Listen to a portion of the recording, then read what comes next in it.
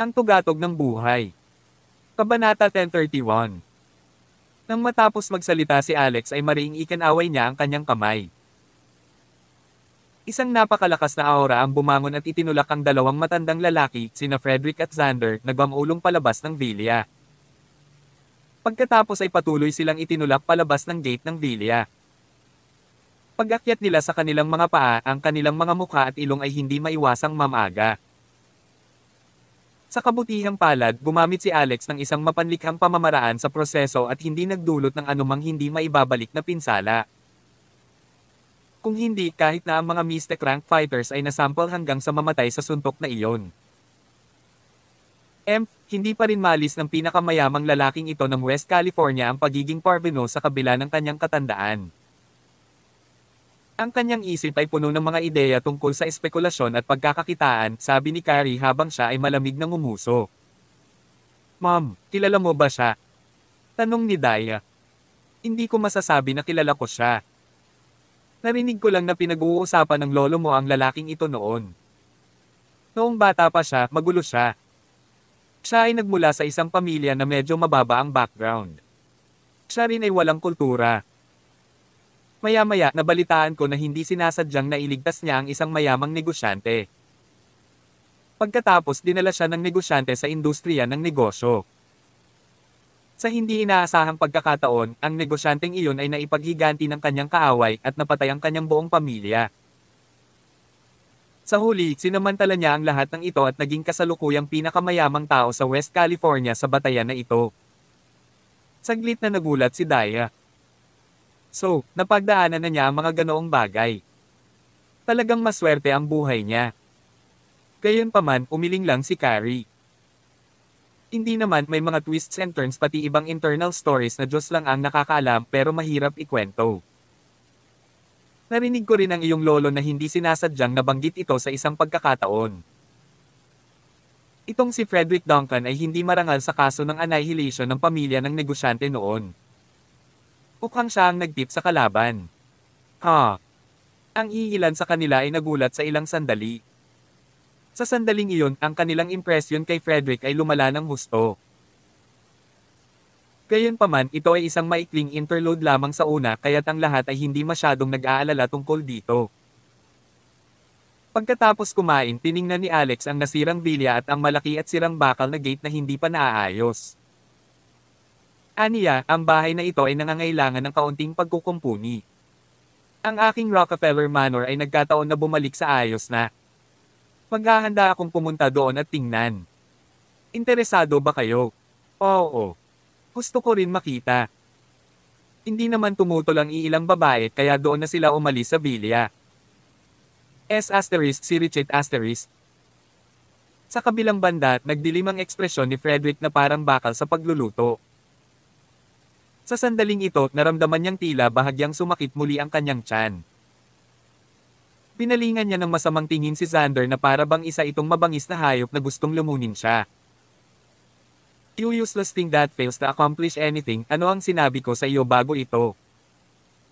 Tinukaw mo ang gulo at sinubukan mong magpakitang gilas. Oh, mahusay ngayon. Hahanapin kita at ililibing kasama ko kung mamamatay ako. Nagkaroon ng panandali ang malamig na liwanag sa mga mata ni Xander, ngunit walang ekspresyon sa kanyang mukha. Sabi niya, matanda Fred, kalmado ka. I think niloko ka ng brat na yon. Sa totoo lang, hindi siya maaaring maging immortal doctor dahil ang tunay na immortal doctor sa Amerika ay makikita lamang sa ating witch doctor sect. Huli niyang sinabi sa kanya ang tungkol sa immortal doctor. In the end, he said, if I'm not wrong, dapat gumamit siya ng ilang uri ng smokescreens kanina para maramdaman naming dalawa na bumuti ang kondisyon. Ngunit sa katunayan, hindi. Ilusyon lang ang lahat. Sa tingin ko ang huling layunin niya ay ice ang pera mo. Malamig nang umuso si Frederick. Paano mo ipapaliwanag ang rejuvenation pill kung gayon? Ang babaeng iyon ay biglang naging mas bata ng sampung taon. Pareho naming nakita ito ng aming mga mata. Make-up, make-up dapat. Pagkatapos nagpatuloy si Xander, tatawagan ko ang Witch Doctor Sec para tanungin kung nakita na niya talaga ang ating young master. Naniniwala ka rin ba sa isang katawa-tawang bagay tulad ng pagbubuntis ng lalaki? Kaya ito ay nagpapakita na ang mga taong iyon ay malamang na nagbubuga ng katarantaduhan. Walang anumang nasabi ang mapagkakatiwalaan. Kinuha naman agad ni Xander ang phone niya at tumawag. Tawag. I pre. I-click. I subscribe kwentong nobela.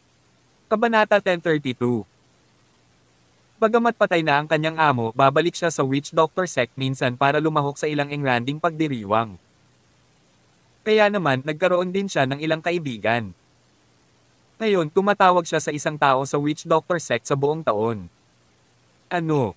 Punti si Young Master. Matandang Xander, mayroon ka bang maluwag na tornilyo? Ang isang Young Master ay isang lalaki. Paano siya nabuntis? Ngunit si Master Bayer ay nagdala ng isang buntis na babae. Narinig ko na ang fetus sa loob ng tiyan ng babaeng ito ay kakaiba. Hindi ito maaaring i-abort. Hindi interesado si Xander sa buntis na ibinalik ni Levi Bayer. Matapos makuha ang tiyak na sagot, tumawa siya ng malakas. Nilainggan niya si Frederick at sinabing, Kuya Fred, na itanong ko na ang tungkol dito. Yung brat na yun walang iba kundi kalokohan. Ang aming young master ay hindi maaaring maging mas mahusay. Wala namang nangyari sa kanya.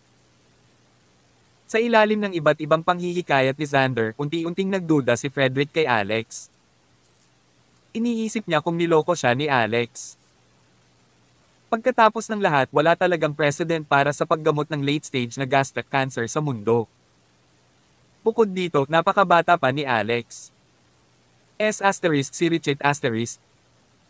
Sa Witch Doctor Sect, ang sect master na si Gunny Bayer ay may masungit na mukha. Ang isang tumpok ng data ay inilagay sa harap niya, impormasyon tungkol kay Alex Rockefeller sa kanila. Ang kanyang anak na si Levi ay nakaupo sa kanyang kanan. Bumalik na sa normal ang bumukol na tiyan niya ngayon kumpara sa ilang araw na nakalipas, ngunit hindi nabawasan ni Katie Ting ang sama ng loob niya kay Alex. Sa kabaligtaran, ito ay naging mas matindi. Inihagis ni Gunny ang tumpok ng data kay Levi. Basahin mo na lang. Nang matapos itong basahin ni Levi, nagulat siyang nagtanong, totoo ba ang mga datos na ito? Ang taong Rockefeller na ito ay isang walang kwentang manugang ilang buwan na ang nakakaraan. Hanggang dito na ba talaga siya? Sinabi ni Gunny, talagang walang problema sa data. Iniling ko kay Lola Witch na imbestigahan ito. Siya ang pinakamaalam na tao sa aming Witch Doctor Sect at ang kanyang channel ng impormasyon ay maaasahan. Ngunit wala siyang alam na anumang medikal na kasanayan tatlong buwan na ang nakakaraan. Isa lang ang maipaliwanag niyan. Ang lalaking ito ay kamakailan lamang ay nakatagpo ng isang pagkakataon. Ano man ang labintatlong acupuncture ng impyerno o ang iba pang kasanayang medikal, lahat sila ay mula sa legacy ng ating immortal doctor. Batay dito, mayroon akong dahilan upang maniwala na nakuha niya ang pamana mula sa immortal doctor, Gilherm Extraordinaire. Ha? So, sinasabi mo na isa siyang immortal doctor. Isang malamig na buntong hininga ang pinakawala ni Gunny. Ang legacy ng Immortal Doctor ay palaging minana ng ating Witch Doctor sect sa nakalipas na ilang libong taon. Ang medikal na doktor ng nakaraang henerasyon, si Gilherm, ay ang taksil sa ating Witch Doctor sect. Siya ay pinatalsik sa Witch Doctor sect at inalis ang legacy. Responsibilidad nating bawiin ito. Dad, anong ibig mong sabihin? Naka-acquire lang niya ng legacy at mahina pa rin ang foundation niya. May oras pa para agawin natin ito sa kanya. Nagulat si Levi. Paano natin aagawin? Sa pagkakaalam ko, ang Immortal Doctor's Legacy ay parang banal na kaliwanagan sa Budismo. Ito ay itinanam kaagad sa kamalayan ng isa. Imposibleng palitan natin ang isip niya sa isip ko, di ba? Sinabi ni Gunny, ang legacy ng aming witch doctor sect ay ipinasa sa loob ng ilang libong taon. Gaano karaming mga nakamamanghang henyo ang lumitaw sa sekta? Hindi kaya sa tingin mo ang titulo ng mangkukulam ay pawang palabas lang? Siyempre, may ilang mystical na paraan, ngunit huwag kang mag-alala. Hanggat dumating ang lalaking iyon sa ating witch doctor sect, gagawa ako ng paraan para payagan kang nakawin ang kanyang legacy. Sige, salamat tatay. Pero, kailangan pa natin ng isang item, iyon ang Jade of Origin from the Legacy of the Witch Doctors. Limitado pa rin ang impormasyong dala ni Granny Rich. Gusto kong pumunta ka sa California. Panatilihin ang malapit na pagbabantay sa taong ito at alamin ang pinagmula ng legacy na nakuha niya. Pinakamahalaga, ibalik ang Jade of Origin mula sa legacy. Kukunin ko ang apat na mahusay na ghost servant para samahan ka. Naningkit ang mga mata ni Levi. Ang pinakagusto niya ay paghihiganti. Malaki ang tiwala niya sa tulong ng apat na dakilang lingkod ng aswang. At saka, sabi niya tay, ang Carol Rockefeller na iyon ay dating isang pamilya kasama ang lalaking Rockefeller na iyon. Kung malalampasan natin siya, maaari naming makuha ang dalawang beses ang resulta sa kalahati ng pagsisikap. Sinabi ni Gunny, puntahan natin siya ngayon din. Kabanata 1033 Mula nang lumabas sa Triangle River Delta Medical Exchange noong araw na iyon, hindi na nakapaghintay si Carol at nakipagtalik kay Levi. Siyempre, napilitan siya. Mayroon bang ordinaryong tao na kusang magpapabunti sa isang nagmumulto na fetus? Igit pa rito, ang buong proseso sa kotse ay sinamahan ng matandang umutot si Hosha Quantes dahil kailangan niyang hawakan ang paghahagis ng grafting. Pagkalipas ng dalawang buong oras matagumpay na nailipat sa tiyan ni Carol ang nagmumulto na fetus sa tiyan ni Levi. Noong panahong iyon, naisip din niya na sisubog ang kanyang tiyan. Gayunpaman, hindi ito nangyari. Hindi lang ito sumabog, naramdaman pa niya ang nagmumulto na fetus sa kanyang tiyan tulad ng isang ordinaryong tao na nagdadalang tao. Naramdaman niya talaga ang paggalaw ng fetus.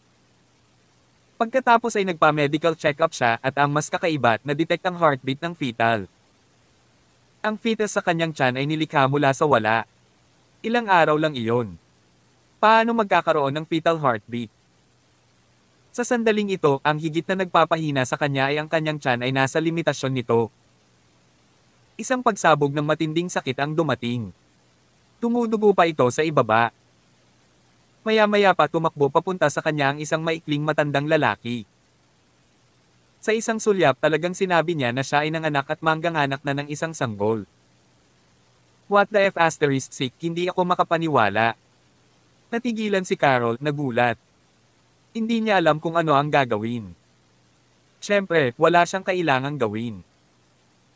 Ang maikling nakatatandang lalaki ay nagdala kagad ng isang serye ng mga tool na naghahanda upang tulungan siyang maipanganak ang kanyang sanggol. Tinurap pa niya ito ng oxytocin para makapanganak. Ah! Maya-maya pa ay sumigaw ng malakas si Carol sa sakit. Nang dumating si Nagani at Levi pinakawalan niya ang pinakamatinding hiyaw. Malapit na bang ipanganak ang sanggol? Medyo nagulat si Gani ngunit hindi siya masyadong nag-react.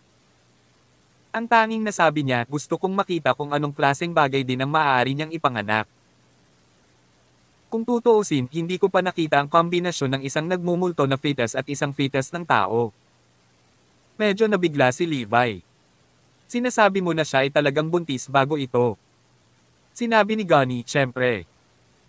Ang pandak na nakatatandang lalaki na iyon ay nakangiti ng malabo. Young Master, dahil may inilagay ako sa tiyan niya. Ang kanyang fetus ay maaari lamang lumaki ng napakabilis sa ilalim ng impluensya ng kalagim-lagim na fetus. Tiyak na magiging napakaganda kapag isinilang ito mamaya. Si Carol ay nagdurusa sa matinding sakit ngayon ngunit siya ay labis na natakot. Hindi niya alam kung anong uri ng bagay ang maaari niyang ipanganak. Siya ay natatakot na ang bagay na ipinanganak ay isang pangit na halimaw. Wala siyang lakas para ipanganak ang sanggol dahil sa sobrang pag-aalala. Nagmakaawa siya. Young Master Bayer, tulungan mo ako. Masakit talaga. Sabi ni Levi, paano kita matutulungan kung ikaw ang naghahatid ng sanggol? Hindi kita matutulungan. Ang iyong sanggol ay hindi maipanganak sa pamamagitan ng C-section. Sinabi ni Gunny, kailangan mong ilihis ang iyong pansin ng kaunti upang maihatid ang batang ito ng matagumpay. Kung hindi, mamamatay ka dahil sa dystosya. Isipin ng taong pinakaayaw mo at ang bagay na pinakagusto mong ipaghiganti. Pagkatapos itulak ng husto. Nang marinig ang kanyang mga salita, naisip kaagad ni Carol si Alex Rockefeller.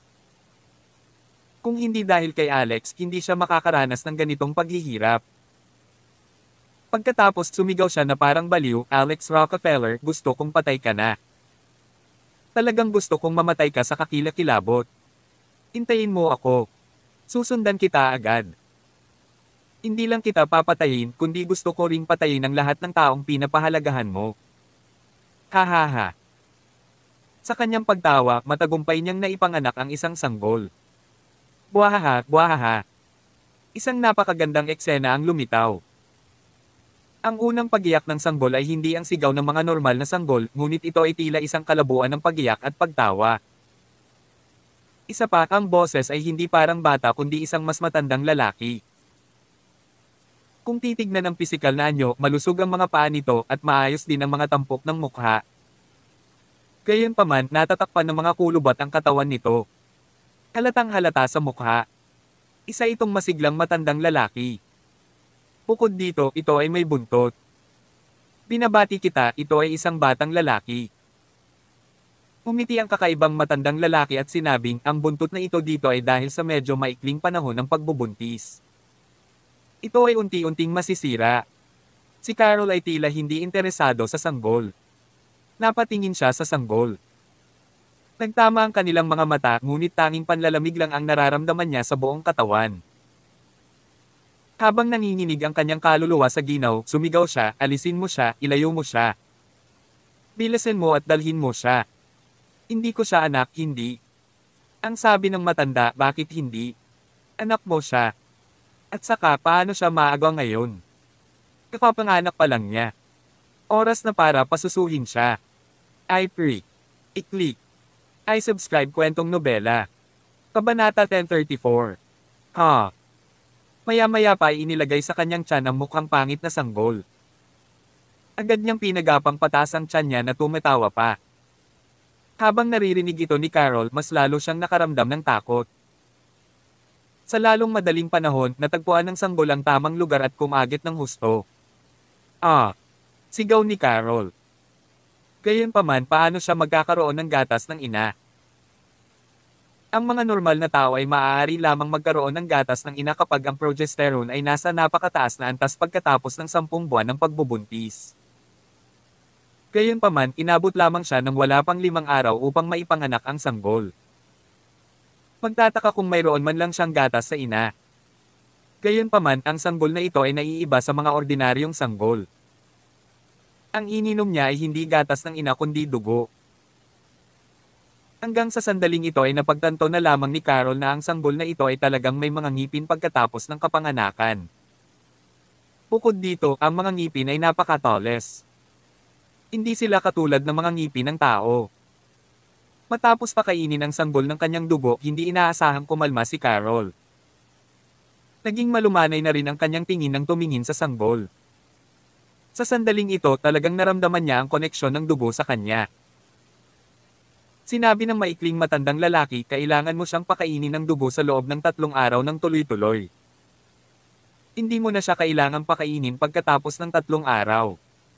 Hahaha, itataas ko siya para maging bayani ng henerasyon.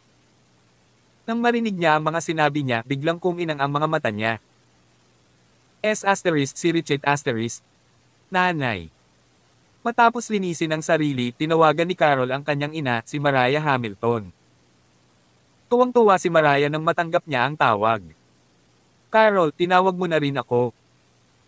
Ang galing, akala namin ng tatay mo hindi ka na makakabalik. Napakabuti na buhay ka pa. Kamusta ka ngayon? Sinabi ni Carol, okay lang ako. Hawak-hawak niya ang sanggol sa kanyang kamay. Sa sandaling ito, ang sanggol ay nagpakawala ng isang malakas na pagiyak na tawa. Nagulat si Mariah saglit. Anong tunog yan?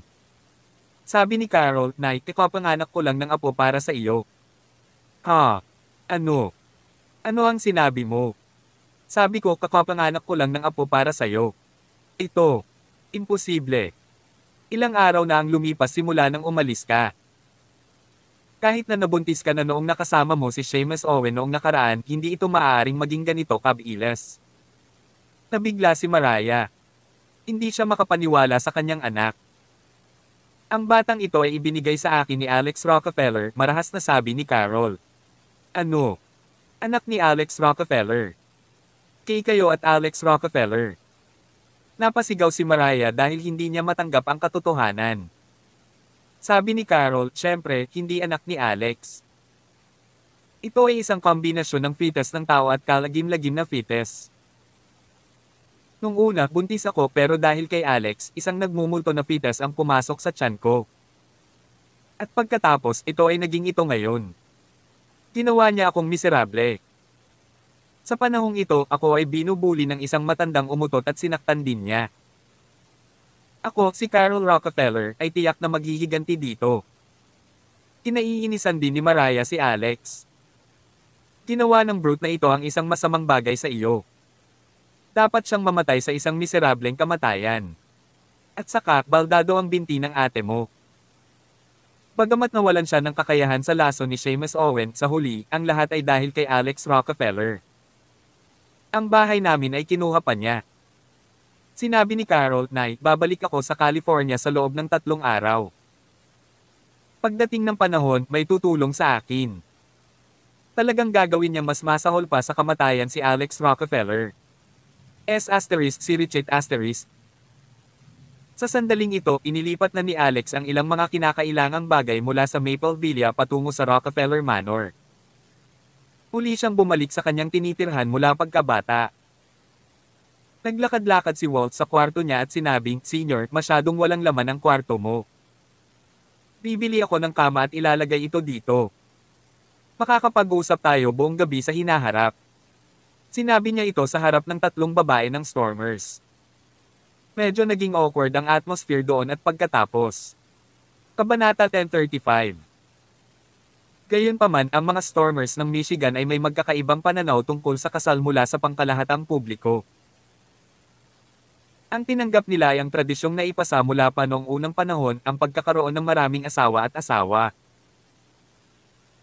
Bukod pa rito, matagal nang alam ng Stormers na may nabuong emosyonal na pundasyon sa pagitan ni na Waltz at Alex. Sa mga tuntunin ng malalim na pagmamahal, si Daya ay hindi kasing husay ni Waltz.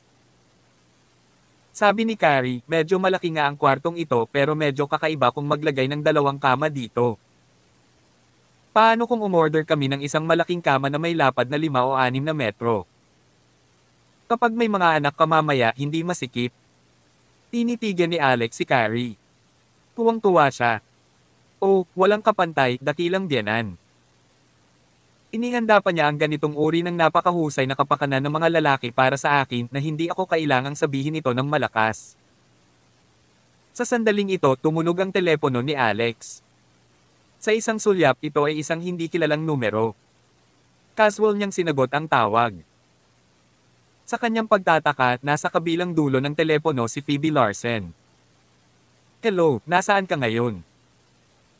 Nang marinig ni Alex ang boses nito, naalala niya ang eksenang naliligo niya sa banyo kagabi. Pagkatapos mabilis niyang pinigilan ang kanyang mga iniisip at sinabing, MS Larson, may maitutulong ba ako sa iyo?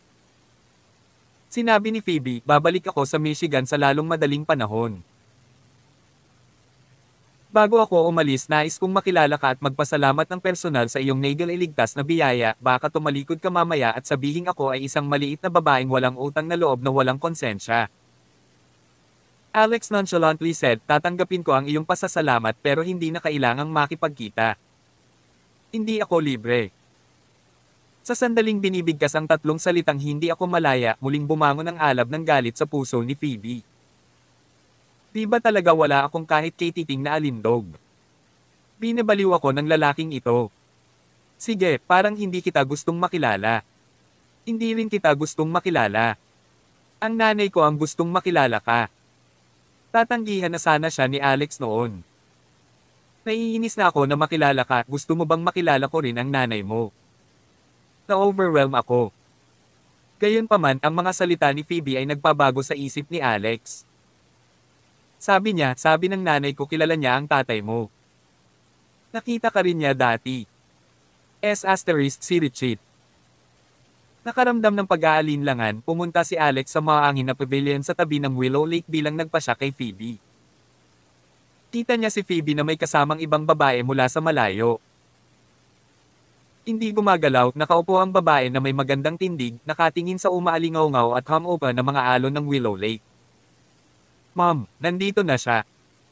Mahinang boses na sabi ni Phoebe nang makitang papalapit si Alex. Saka lang binawi ng babae ang tingin at bumaling kay Alex. Sa sandaling magtama ang kanilang mga mata, malinaw na naramdaman ni Alex ang magulong emosyon ng babae, pagkabigla, pagkabalisa, at may ilang pagkahiyang pambabae pati na rin ang bakas ng hindi maipaliwanag na paghihirap. Ang babae ay tumingin sa kanyang unang bahagi ng 40 at maayos na pinananatili. Ang kanyang balat ay puti ng nyebe na parang jade at mayroon siyang hugis itlog na mukha. Napakaganda ng kanyang mga facial features lalo na ang kanyang pares ng mga mata na hindi malilimutan sa unang tingin. Ikaw si Tita Grace. Medyo nagulat at hindi makapaniwala si Alex. Ikaw ang ina ni Phoebe Larsen. Siya ay may magandang memorya at naalala ang maraming bagay ng sabay-sabay. Naalala niya na sinamahan niya ang kanyang ama, si William Rockefeller, sa Japan para sa isang pagbisita noong siya ay freshman sa high school. Nakilala niya ang babaeng ito noon. Naalala pa ni Alex na Larsen ang apelyido niya. Ang kanyang pangalan ay Grace Larsen. Gayunpaman, ang saya lang ng paglalakbay ang kanyang iniintindi at hindi niya masyadong pinapansin si Grace noon. Sa pagkakataong iyon, hindi rin siya pinakilala ni William at sinabing kaibigan lang niya. Hindi na siya muling nag-cross ng landas sa kanya mamaya. Hindi nakikita ng batang si Alex ang problema. Gayunpaman, marami na siyang nakikitang detalye ngayon. Si Grace ay isang mandirigma at ang kanyang cultivation base ay hindi basic. Nagkaroon siya ng martial cultivation ng intermediate earth rank. Napakagaling noon sa Amerika. Ang lalong nagpatibok sa puso ni Alex ay nang makita siya ni Grace, ang tingin sa kanyang mga mata ay tila masyadong komplikado. Tila ang saya at pinanubik na lampas sa mga salita ng isang asawa nang sa wakas ay nakita niya ang kanyang asawa na pauwi pagkatapos ng matigang paghihintay sa kanya. Gayunpaman, ito ay masyadong walang katotohanan. Alex, hindi ko ine-expect na lumaki ka ng ganito. Kamukha mo ang tatay mo. Sa unang tingin, akala ko ikaw ang tatay mo, William Rockefeller. I pre. I-click. I subscribe kwentong nobela. Kabanata 1036 Nadurog ang puso ni Alex sa pagkabalisa. Naaalala ang hitsura sa kanyang mga mata noong una niya itong nakita at lihim niyang naisip tapos na. Ang tatay ko ay isang Casanova. Hindi kaya nakipag-ugnay din siya sa tita Grace na ito. Kung ganoon ang kaso, ito ay masyadong nakakahiya. Nako, hindi tama iyon. Phoebe Larsen, hindi siya maaaring maging supling ng tatay ko, di ba? Para sa isang maikling sandali, siya ay talagang nagkaroon ng isang ilusyon ng pagiging Giacomo Casanova. On the other hand, Phoebe exclaimed, Nay, magkakilala talaga kayo. Kakaiba iyon. Paano mo nakilala ang kanyang ama? Na-curious din si Alex. Sabi ni Grace, it's a long story. Ang tatay ni Alex, si William Rockefeller, ay parang nakatatandang kapatid sa akin. Masasabing half-master ko siya. Ang aking martial cultivation ay talagang ipinasa mula sa ama ni Alex. Habang nagsasalita siya, nagsimula siyang mag-reminisce. Tumingin siya kay Alex at muling bumaling sa anak. Nakangiti siya habang sinasabi, noon, isang gabi na may maliwanag na buwan sa dagat. Napadpad ako sa isang liblib na isla kasama si Bro William pati na rin ang ilang kaibigan noong panahong iyon. Sa aming pag-uusap, binanggit pa namin noon ang pag-aayos ng anak na ikakasal para sa inyong dalawa. Ha? Parehong natigilan sina Alex at Phoebe. Lalong namula ang mukha ni Phoebe. Tanong ni Alex, Tita Grace, maaaring matagal mo nang nakilala ang tatay ko. Kumango si Grace. Talaga, noong nakilala ko ang papa mo, nasa unang baitan pa lang si Phoebe. Sa katunayan, niyakap pa ng papa mo si Phoebe noon. Ha? Bakit hindi ko maalala? Taking gulat ni Phoebe. May isang matangkad na tiyuhin na nagbigay sa iyo ng regalo noong kaarawan mo noong taong iyon. Naaalala mo pa ba? With that said, nagkaroon talaga ng konting impression si Phoebe sa kanya. Sinabi ng tiyuhin na siya ay kasamahan ng kanyang ina at napaka-espesyal ng regalo niya. Isa itong string ng emerald rabbit necklace. Dahil isinilang siya sa taon ng kuneho, sinuot na niya ito ng maglaon hanggang sa siya ay nasa ikatlong baitang kung saan naganap ang isang aksidente sa sasakyan. Maayos naman siya, ngunit nasira ang kwintas ng emerald rabbit. Matagal pa siyang nalungkot dito. Habang nagpapatuloy ang pag-uusap nalaman ni na Alex at Phoebe na talagang marami silang naging interaksyon noong bata pa sila. Halimbawa, si Alex ay may regalo sa kaarawan na isang modelo ng bangka. Ang mga salitang plain sailing at D ay nakasulat din dito. Ito ay talagang ginawa mismo ni Phoebe noong siya ay nasa ika-anim na baitang. Masyadong malalim ang nakatakdang relasyong ito. Medyo napatulala ang dalawa. Pero, hindi ko talaga akalain na bigla na lang namatay ang tatay mo noong nakaraang taon. Nang sabihin ito ni Grace ay tila nalulungkot siya. Umiyak talaga siya nang may takip sa mukha. Kung hindi mo nailigtas si Phoebe sa pagkakataong ito, hindi ko rin malalaman ang bagay na ito. Si Bro William ay isang henyo. Paano siya? Dahil sa isang aksidente. Kakaiba ang naramdaman ni Phoebe nang makita niyang tinukoy ng kanyang ina ang ama ni Alex bilang Bro William at napaiyak pa ito nang nakatikip ang mukha dahil sa pagkamatay ni William. Matapos makipagkita sa mga mata ni Alex, napabuntong hininga siya na para bang gusto niyang sisihin ang pagiyak ng kanyang ina sa kanya. Tanong ni Alex kailan mo huling nakilala ang tatay ko, Tita Grace. Napabuntong hininga si Grace. Five years ago na iyon. Hindi ko alam kung sinabi sa iyo ng iyong ama noon. Noon, kabilang kami sa isang hidden department. Ang iyong ama ay kinuha sa labas at ang aming punong tagapagturo noong panahong iyon. May nangyari mamaya. Isinara ang departamentong iyon. Ikaw din at ako ni tatay. May nangyari sa pagitan ni na Grace at William. Tumigil na sila sa pakikipag-ugnayan sa isa't isa pagkatapos noon. Ngayon, hindi inaasahang nahiwalay siya sa kanya sa kamatayan magpakailanman. Sa Mahanjing Pavilion, tumagal ng dalawang oras ang usapan. In the end, Grace said, Alex, I can rest assured after seeing you with such a good prospect. Salamat ulit sa pagligtas sa anak ko. Sana ay bisitahin mo ang bahay ko sa Michigan kapag libre ka. Walang pakialam na tumango si Alex. Sa sandaling ito, naglabas si Phoebe ng isang paper bag at iniabot ito kay Alex. Ito ay para sa iyo bilang isang kabayaran para sa iyong buhay na nagel iligtas na biyaya. Binuksan niya ito at tinignan. Ito ay isang suit. Bago humiwalay, bamulong si Alex kay Phoebe, ang tatay mo, siya ba ang biological dad mo? Anong ibig mong sabihin? Medyo nag-aalala ako na ikaw ang aking biological na kapatid. Kabanata 1037 Biglang nagbago ang ekspresyon ni Phoebe. Imposible talagang imposible. Hehe, sinasabi ko lang. Sa tingin ko rin, imposible. Napangiti si Alex. M. Tinadyakan ni Phoebe ang kanyang mga paa. Nandyan pa ba ang bangkang ibinigay ko sa iyo noon? Napakapangit ng sirang bangkang iyon. Nang makita ang malamig ngunit mabagsik na ekspresyon ni Phoebe, agad niyang sinabi, sa tingin ko ay nandoon pa rin iyon. Ngayon nag-uusap tayo. Puntong hininga, sinong mag-aakalang ang munting bata sa aking imahinasyon ay naging hatek na katulad mo. Ang lahat ng magagandang ilusyon na kabilang sa aking pagkabata ay nabasag. Napangisi si Alex. Touche. Bumalik ka sa Michigan. Kinagat ni Phoebe ang kanyang mga ngipin. M, kakagaitan kita hanggang mamatay kung maglakas loob kang pagmalupitan si Cheryl. Sandaling lumayo si Grace na nasa harapan nila. Nang makitang nagbubulungan sila sa isa't isa, hindi niya maiwasang mag-isip ng kung ano. Dahil pumanaw na si Bro William, magiging perpekto kung ang dalawang batang ito ay magpakasal. Ito ay maituturing na pagtupad sa isang pangako ng nakaraan. S asterisk si Richard asterisk. Nagmaneho si Grace pabalik. Biglang nagtanong si Phoebe, Ma, hindi ko pa alam kung ano ang ginawa mo bago ito. Paano ka naging kasamahan ng ama ni Alex?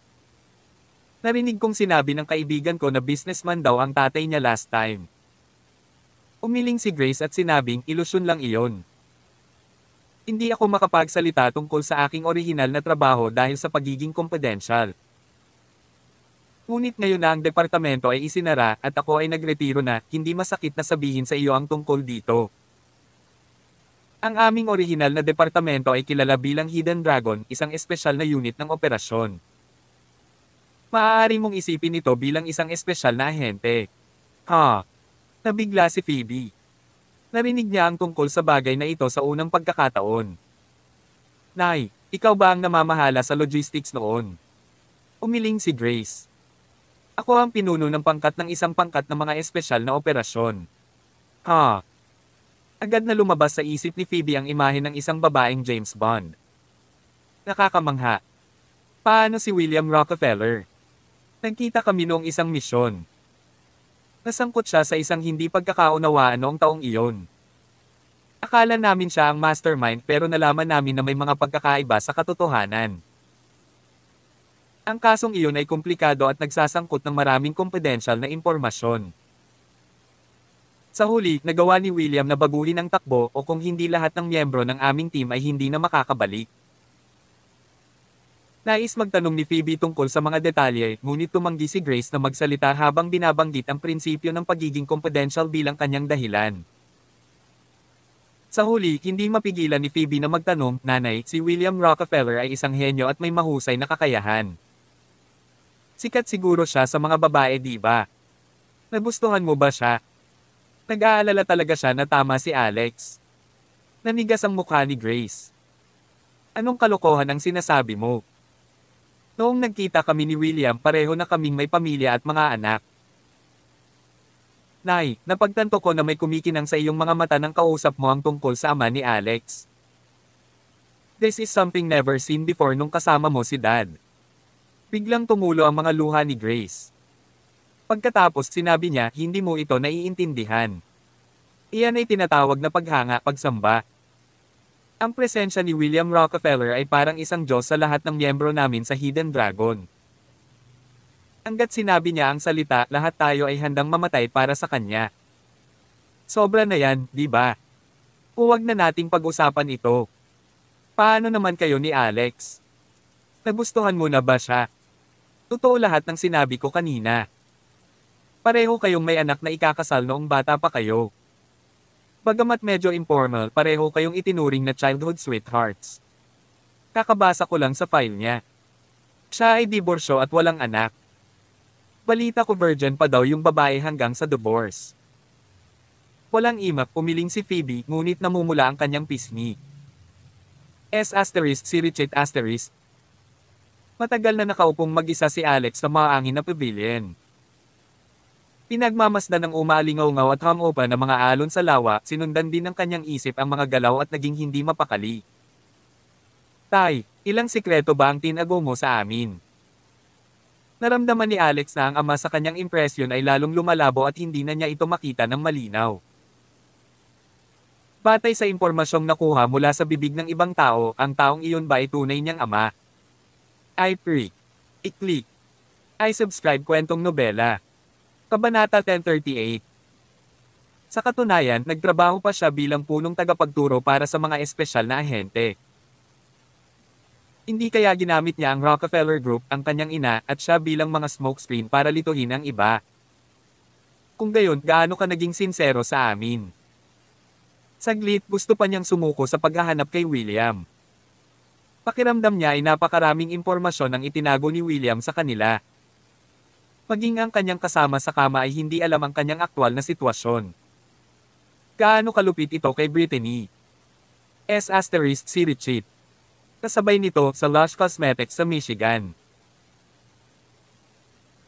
Sa pagsasanib ng puwersa ni na Brittany at Maya kasama si Alex na nagsisilbing tagapamagitan, matagumpay nilang nakuha ang namamatay na negosyo na kabilang sa pamilya ni Susan Hunter, kabilang ang kabuoang 1,500 manggagawa at isang factory building na may lawak na higit sa 6,000 metro kwadrado.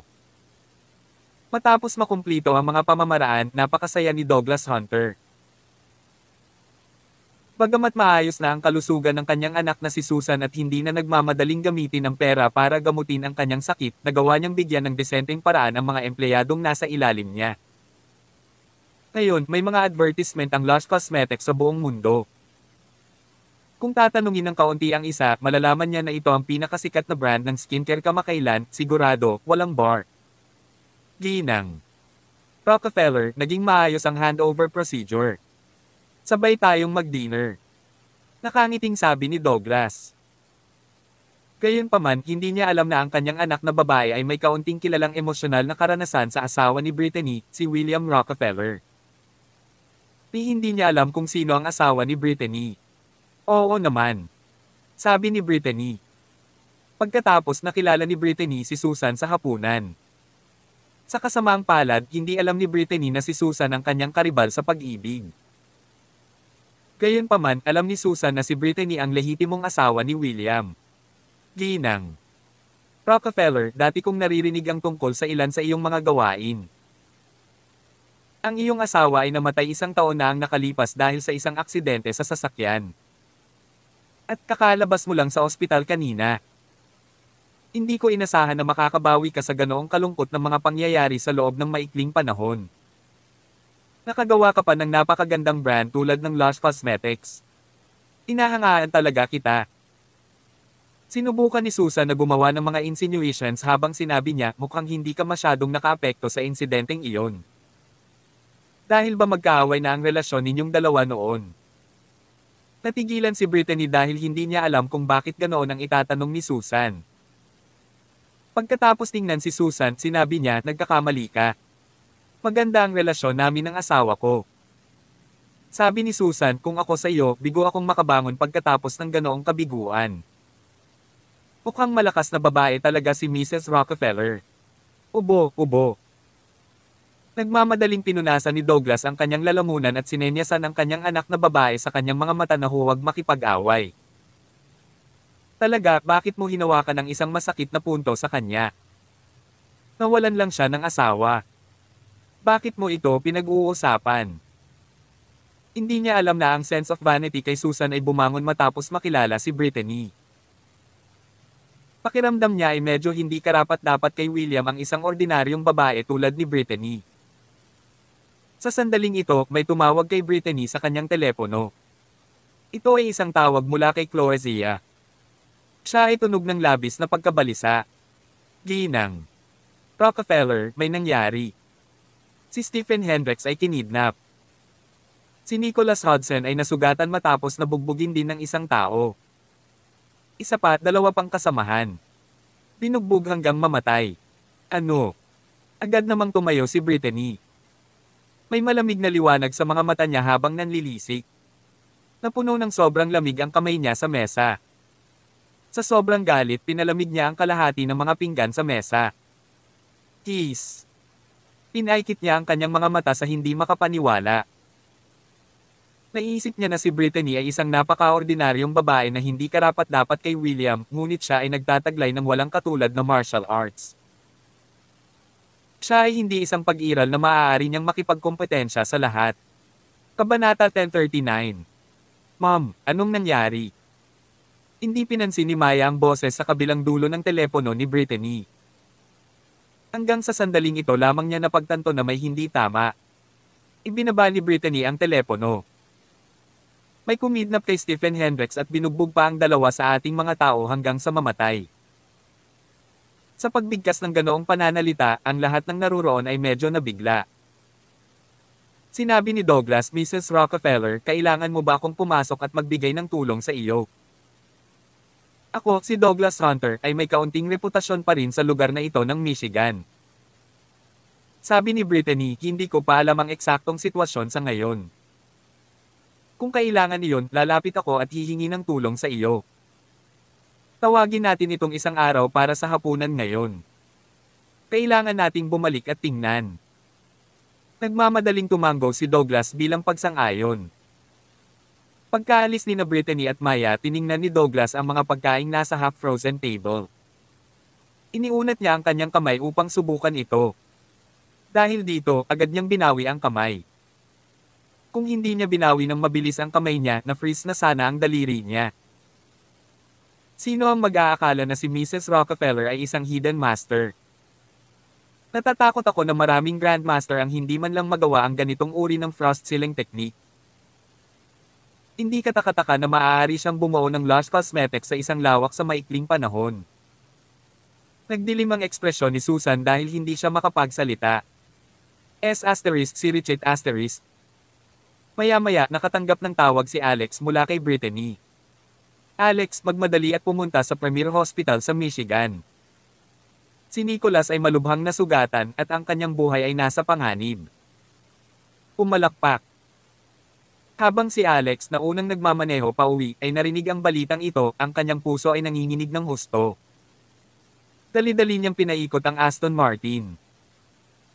Ang malaking dagandong ng makina ay umalangaw sa buong kalye habang siya ay sumugod patungo sa Michigan na parang kidlat. Pagkarating sa highway pinatungan pa niya ang pedal ng gas. Dam, galit ba ang lalaking ito?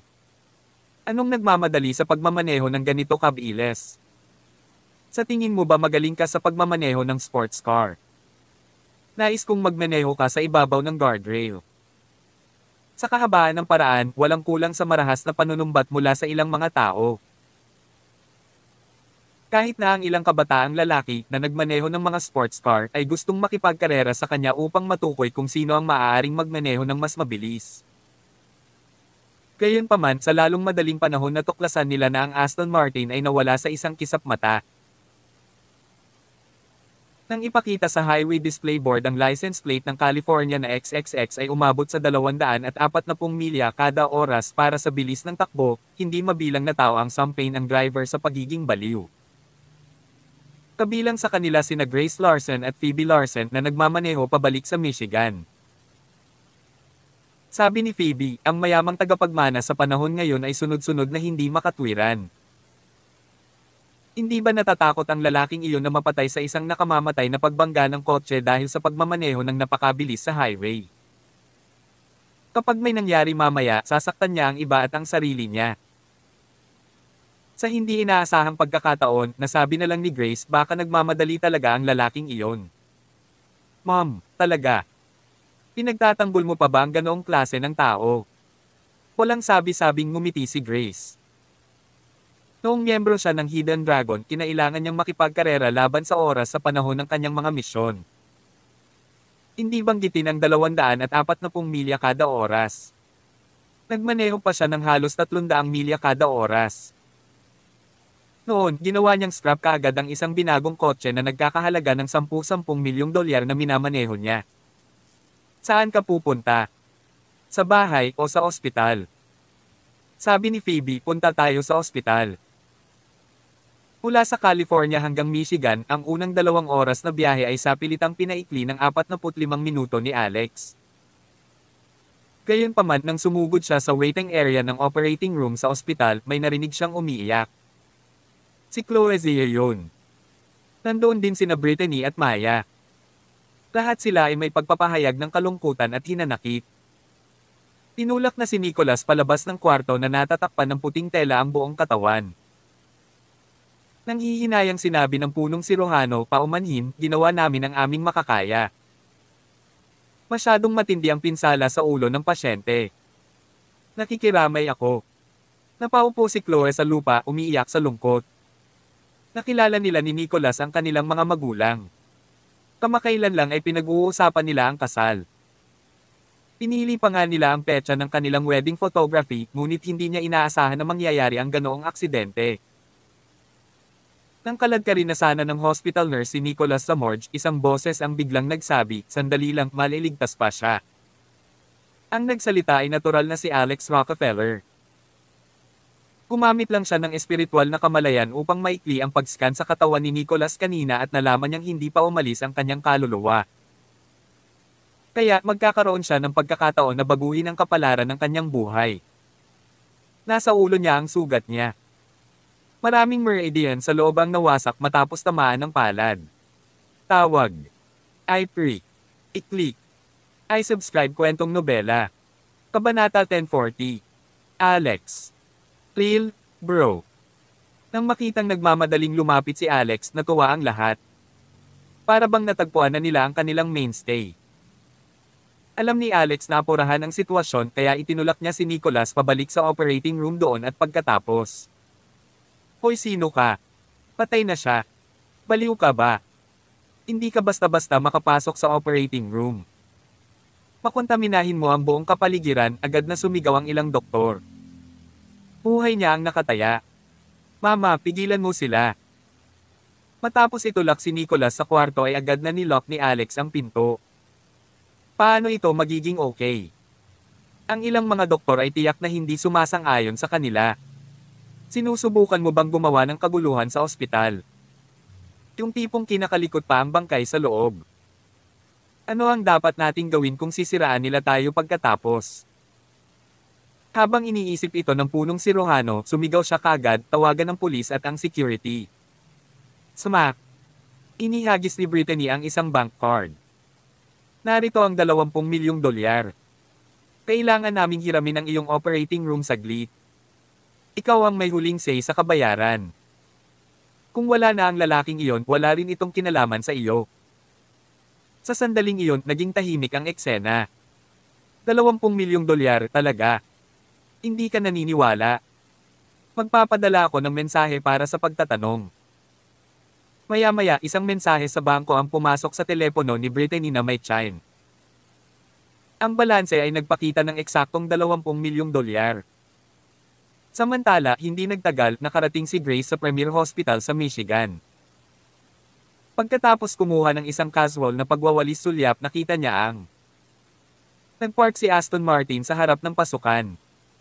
Pagkatapos tumingin siya sa plaka. Hoy, hindi ba ito ang ligaw, mabilis na kotse sa highway ngayon? Nagtataka, sinabi ni Phoebe, talaga nga. Nakangiting sabi ni Grace, sabi sa iyo, malamang may apurahang utosan ng lalaking iyon para magmaneho ng ganoon kabilis. Si Grace ay isang Earth rank fighter na may mataas na antas ng cultivation. Ngayong may gustong sakta ng kanyang anak, tiyak na kailangan niya itong samahan sa lahat ng paraan. Dahil dito, pagdating nila sa opisina ni Phoebe, pumasok ang chismis ng kanyang mga kasamahan. Narinig niyo na ba ang tungkol dito? Ang operating room no. Tatlong ay inookupahan ng isang mayamang tao. Isang pasyente na idineklarang patay ay itinulak pabalik sa operating room. Gusto niya talagang oprahan ang bangkay. Hindi mo ba iniisip na kakaiba ito? Nag-iisa din siya. Balita ko napakabata niya, nasa 20s. Oh my goodness, baka nagbibiro siya. Ang babaeng iyon ay naghagis lang ng 20 milyong dolyar sa mga surgeon para hiramin ang operating room. Hindi nakaimik si Direk Zul.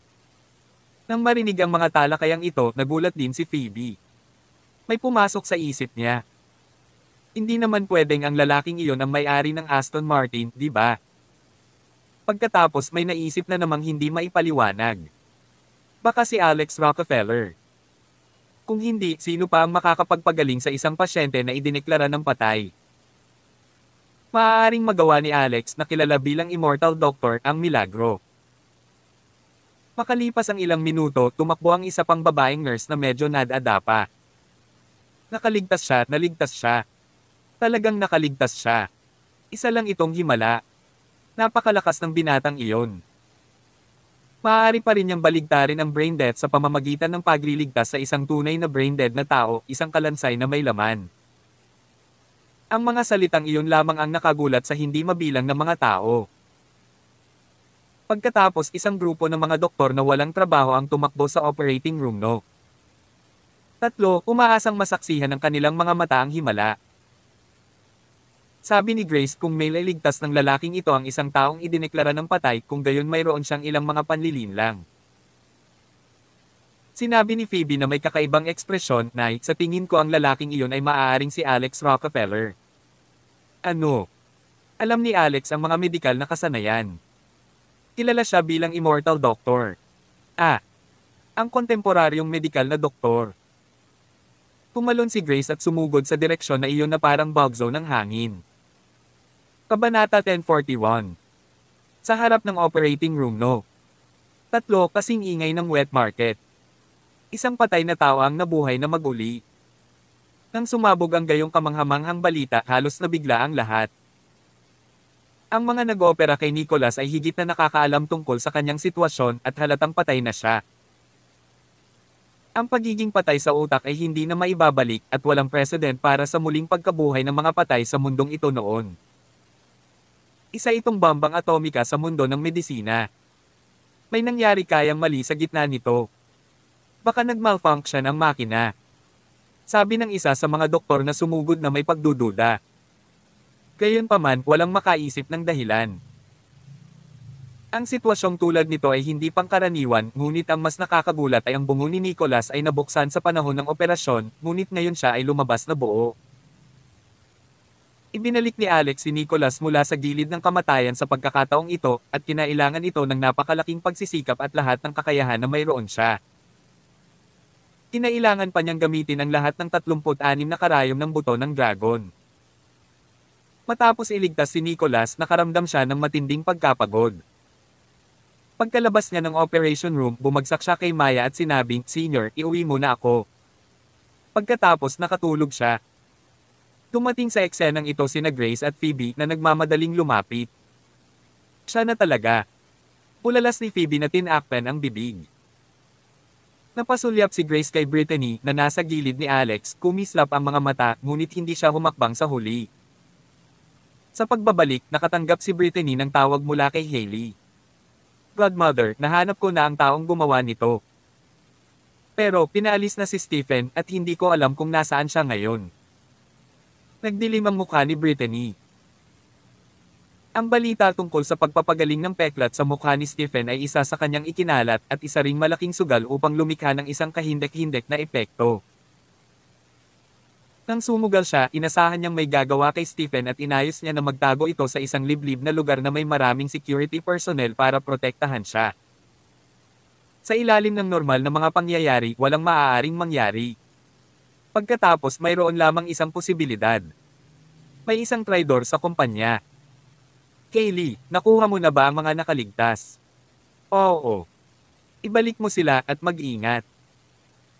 Habang nasa daan, nakahiga si Alex sa kondonggen ni Maya na tinatamasa ang ginhawang katulad ng sa isang big boss.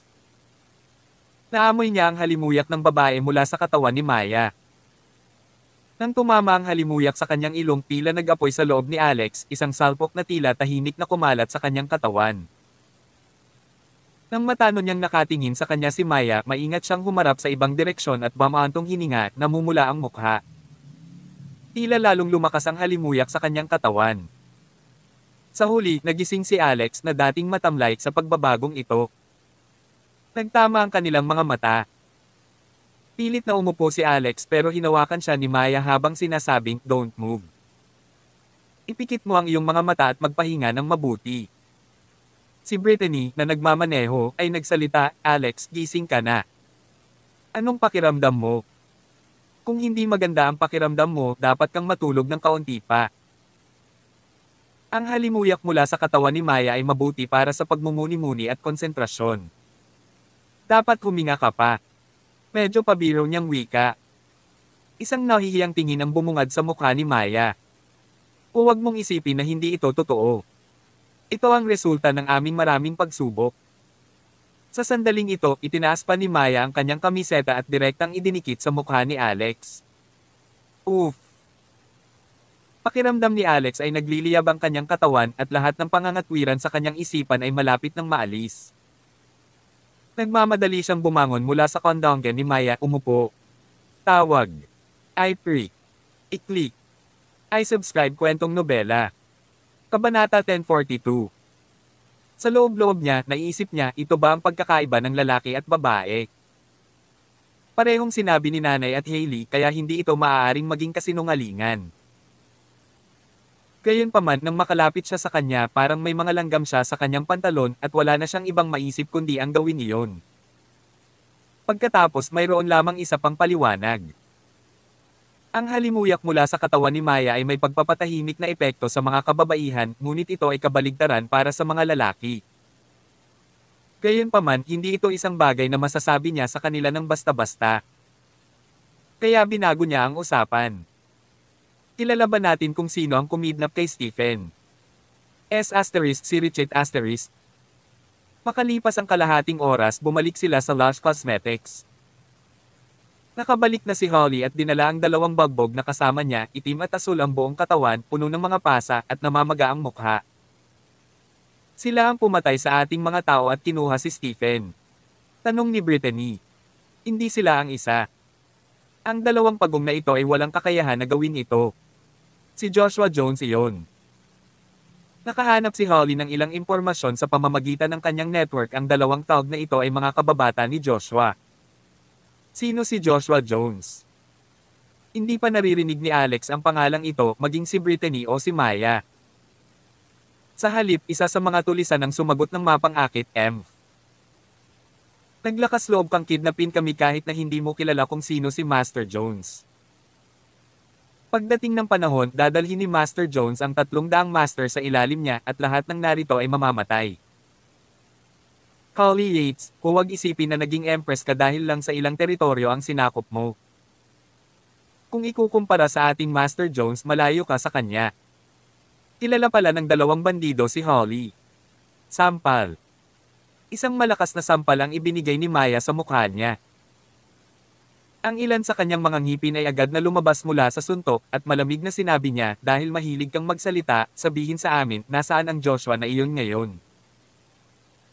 Si Holly ang sumagot si Joshua ang may-ari ng Emerald Tower na isang lugar kung saan ginaganap ang underground black boxing. Nakilala ko na siya minsan noong gusto niya akong i-recruit. Tinanggihan ko siya noon. Kumain ng ilang table tas si Alex na parang kumakain ng jelly beans para mapunan ang kanyang lakas at nagtanong, napakalakas ba nitong si Joshua? Sagot ni Holly, kaya nga. Pero hindi siya dapat makipagsabayan sa akin. Ang inaalala ko ay may matandang lalaki pa rin sa likod niya. Ang lalaking iyon ang tunay na monolith ng lugar. Sa kabilang banda, ang mga tao mula sa Amaryllis Tower ay walang pakialam sa mga patakaran, kaya kung sila ay darating at gumanti sa kumpanya, ito ay magiging mahirap. M, sinasabi mo na hindi mo kalaban si Master Jones Holly Yates. Tingin ko nagbubuga ka ng kalokohan, tama ba? Nang marinig ito ng isa sa mga tulisan, hindi niya maiwasang mapangiti. Medyo nagalit si Holly at sinampal ang mukha ng Tog. Ang suntok ay pinahiren ng kanyang mga katangian ng apoy. Sumigaw ang tulisan at bumagsak sa lupa na wala ng malay. Ang buong mukha niya ay parang nasunog sa apoy at nakakapangilabo tingnan. Nang makita iyon ni Brittany, walang pagbabago sa kanyang ekspresyon nang sabihin niya, Holly, ang matandang iyon, gaano siya kalakas. Siya ay isang cultivator, at maaaring naabot na niya ang antas ng divine transcendence. Narinig ni na Brittany at Maya si Alex na nag-uusap tungkol sa mga antas ng paglilinang bago ito, at sila ay nakasimangot na nasa dulo ng kanilang talino. Hindi nila akalain na ang pagpapanumbalak ng mukha ng isang celebrity ay maghihikayat sa isang napakapangit na master. Bahagyang ngumiti si Alex sa sandaling ito at sinabing kahit na ito ay isang Divine Transcendence Master, hindi imposibleng harapin siya. Bro, mayroon ka bang hindi pagkakaunawaan tungkol sa antas ng Divine Transcendence? Diretsahang tanong ni Holly na walang pakialam sa mukha. Sa oras na umabot ka sa ganoong antas para kang nalaglag ang iyong mortal na balat. Sa mata ng mga ordinaryong tao, ito ay karaniwang parang Diyos na pag-iral. Mayroon silang lahat ng uri ng mahiwagang kapangyarihan kung gayon at maraming di maisip na mga kasanayan sa kanilang pagtatapon. Mahinahong sumagot si Alex, I'm one of them. Sa pagkakataong ito, biglang tumawag si Sky. Alex, may oras ka ba ngayong gabi? May misyon mula sa Divine Constabulary na maaaring mga ilangan ng tulong mo. Tungkol saan ang misyon? Pumunta sa Amaryllis Tower ng Michigan para iligtas ang isang tao. Ah. Kabanata 1043. Saglit na natigilan si Alex. Kanina lang niya iniisip na pumunta sa Amaryllis Tower para hanapin si Joshua Jones at ngayon ay may misyon si Sky sa mismong lugar. Ito ay talagang isang sitwasyon ng pagtatanong at ikaw ay tatanggap. Nasa Michigan ako ngayon. Sabihin mo sa akin kung ano ang sitwasyon, tanong ni Alex. Kaya, mayroong isang kaso ng pagpatay na kinasasangkutan ng Amaryllis Tower. Isang maliit na pamilya ng martial arts sa Missouri ang malupit na pinatay kagabi. Ang mga batang kasing edad 3 hanggang 8 hanggang 13 taong gulang ay pawang pinahirapan at pinatay. At mas malupit at kakaiba, lahat ng 33 sa kanila ay naubos ang lahat ng kanilang dugo sa kanilang katawan. May mga ganyan pa bang nangyayari? Nagulat si Alex. Matagal nang iniimbestigahan ng Divine Constabulary ang kasong ito at ang huling clue ay nakumpirma na nasa Amaryllis Tower ng Michigan. Huminto si Sky. Ngunit ito ay isang kaso ng Cross District at ang namamahala sa kasong ito ay hindi ang Divine Constabulary ng California kundi ang Missouri. Tumutulong lang kami sa kaso at inirerekomenda ka ni Zachary. Nagkataon na ang iyong mas lumang resume ay hindi pa naisumat kaya kapag tapos ka na sa kaso, maaaring magdagdag ng isa pang halaga. Hindi ito pinansin ni Alex at nagtanong sino ang kailangan nating iligtas. O tingnan mo nga. Nakalimutan kong ibigay sa iyo ang pinakamahalagang detalye. Mula kahapon, isang miyembro ng Divine Constabulary mula sa Missouri ang pumasok sa Amaryllis Tower para sa investigasyon at nawala ng kontak sa kanila. Higit sa lahat, hindi siya basta-bastang tao. Siya ang apo ni Commander Stanley Cooper ng ikasyam na dibisyon ng Missouri at ang pangalan niya ay Stacy Cooper. Sige, tutulungan ko sila. Mabuti yan. Ibigay sa akin ang address na kinaroroonan mo ngayon. Sasandulan ka ni Ana mamaya. Natapos ang tawag. Tiningnan ni Alex ang mga tao sa paligid niya at sinabing, mayroon kaming tulong sa daan ngayon. Hindi pa dumarating si Ana at patuloy na hinihila ni Holly si Alex ng walang pasensya, nagtatanong tungkol sa Divine Transcendence. Siya ay nagsisikap na lumipat patungo sa kaharian na iyon sa napakatagal na panahon dahil lamang kapag ang isa ay umabot sa puntong iyon na ang isa ay tunay na nagsimulang tumahak sa landas ng isang magsasaka. Kung ganoon, may spiritual consciousness ka na ba, bro? Narinig ko na sa espiritual na kamalayan, maaari mong makita ang mga bagay na karaniwan mong hindi. Nakikita mo ba ang aking damit at ang aking katawan kung gayon? Matagal na natulala si Alex. Maaaring gusto mong linangin ang espiritual na kamalayan para lamang makita ang damit ng mga tao. Siyempre hindi. Natatakot lang ako na sumilip ka sa akin. Kali ka na. Hindi ako ang pinakamaliit na interesado sa isang kulang sa pag-unlad na katawan tulad ng sa iyo. Embuli ka. Aling bahagi ko ang kulang sa pag-unlad? Bumaba ang mga mata ni Alex mula sa kanyang leeg, binigyan siya ng isang beses.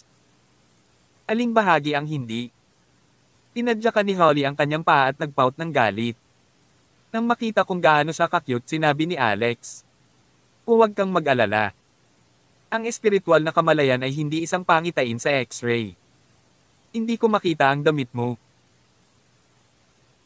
Kapag nakakuha ka ng espiritual na kamalayan, maaari mong maramdaman ang mga reaksyon ng mga tao at gamitin ito upang maglunsad ng mga counterattack upang masaktan ng husto ang kanilang espiritual na kamalayan.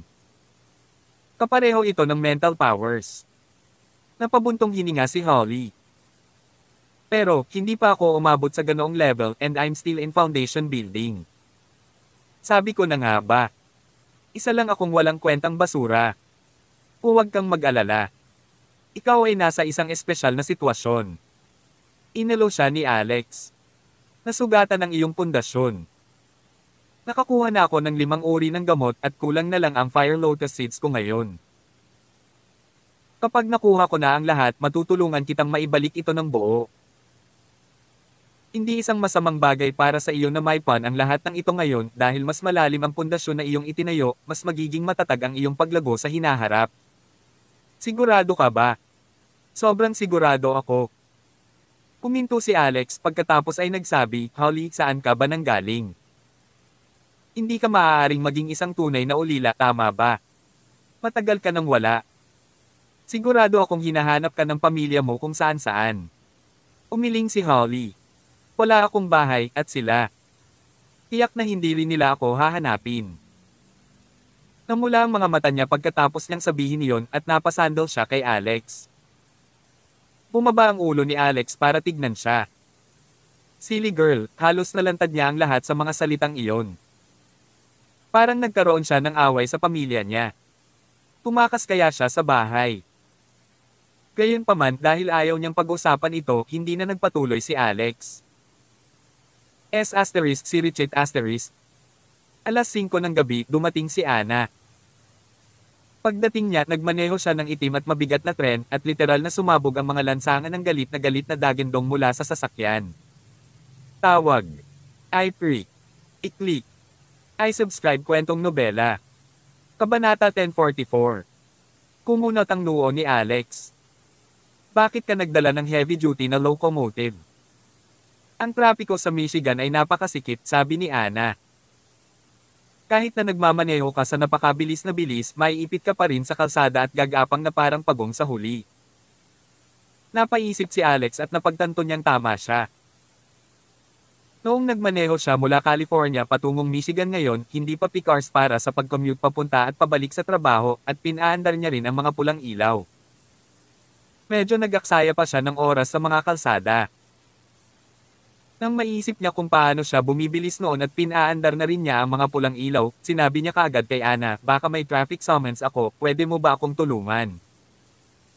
Iyan ay sapat na madaling pangasiwaan, sabi ni Ana. Ibigay mo sa akin ang plate number mo. Ang isa sa aking mga pinsan ay nasa departamento ng transportasyon at ito ay maginhawa upang harapin ito. Hindi ko na kailangang gawin ang aking sarili. Matapos makuha ang plate number ng Aston Martin ni Alex, hindi na siya nagtanong pa at direktang ipinadala ang impormasyon sa kanyang pinsan na kapatid. Wala pang tatlong minuto ay dumating na ang tawag ng kanyang pinsan.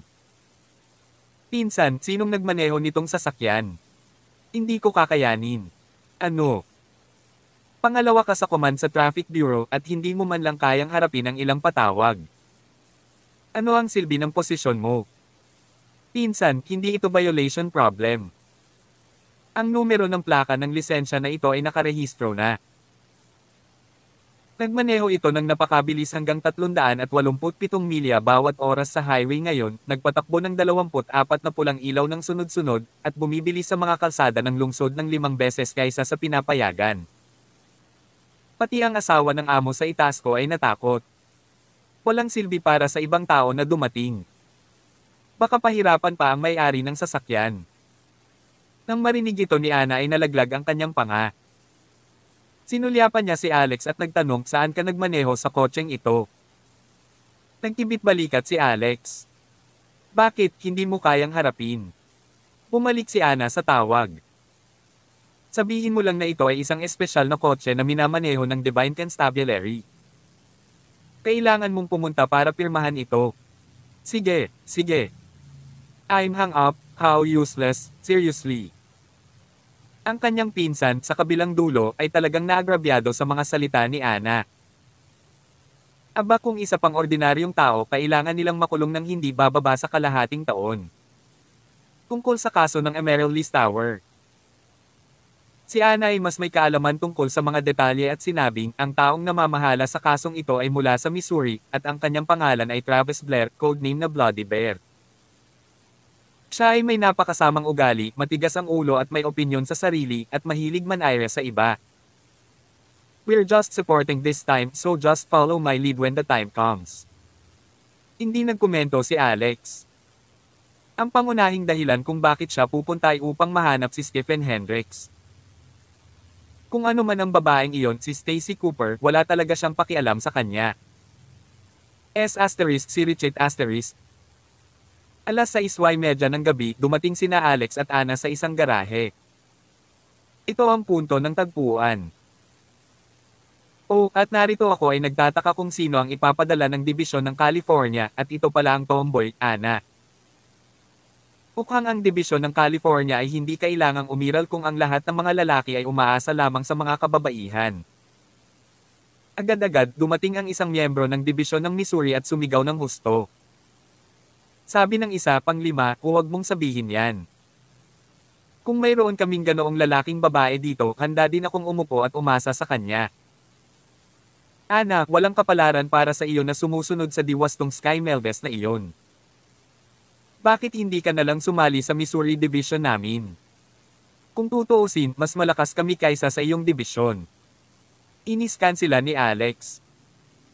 May kabuuang anim na tao at ang pinakamalakas ay malapit sa intermediate earth rank. Siya ay matangkad, malakas at fit. Yung iba halatang nahulog sa likod ng lalaking ito.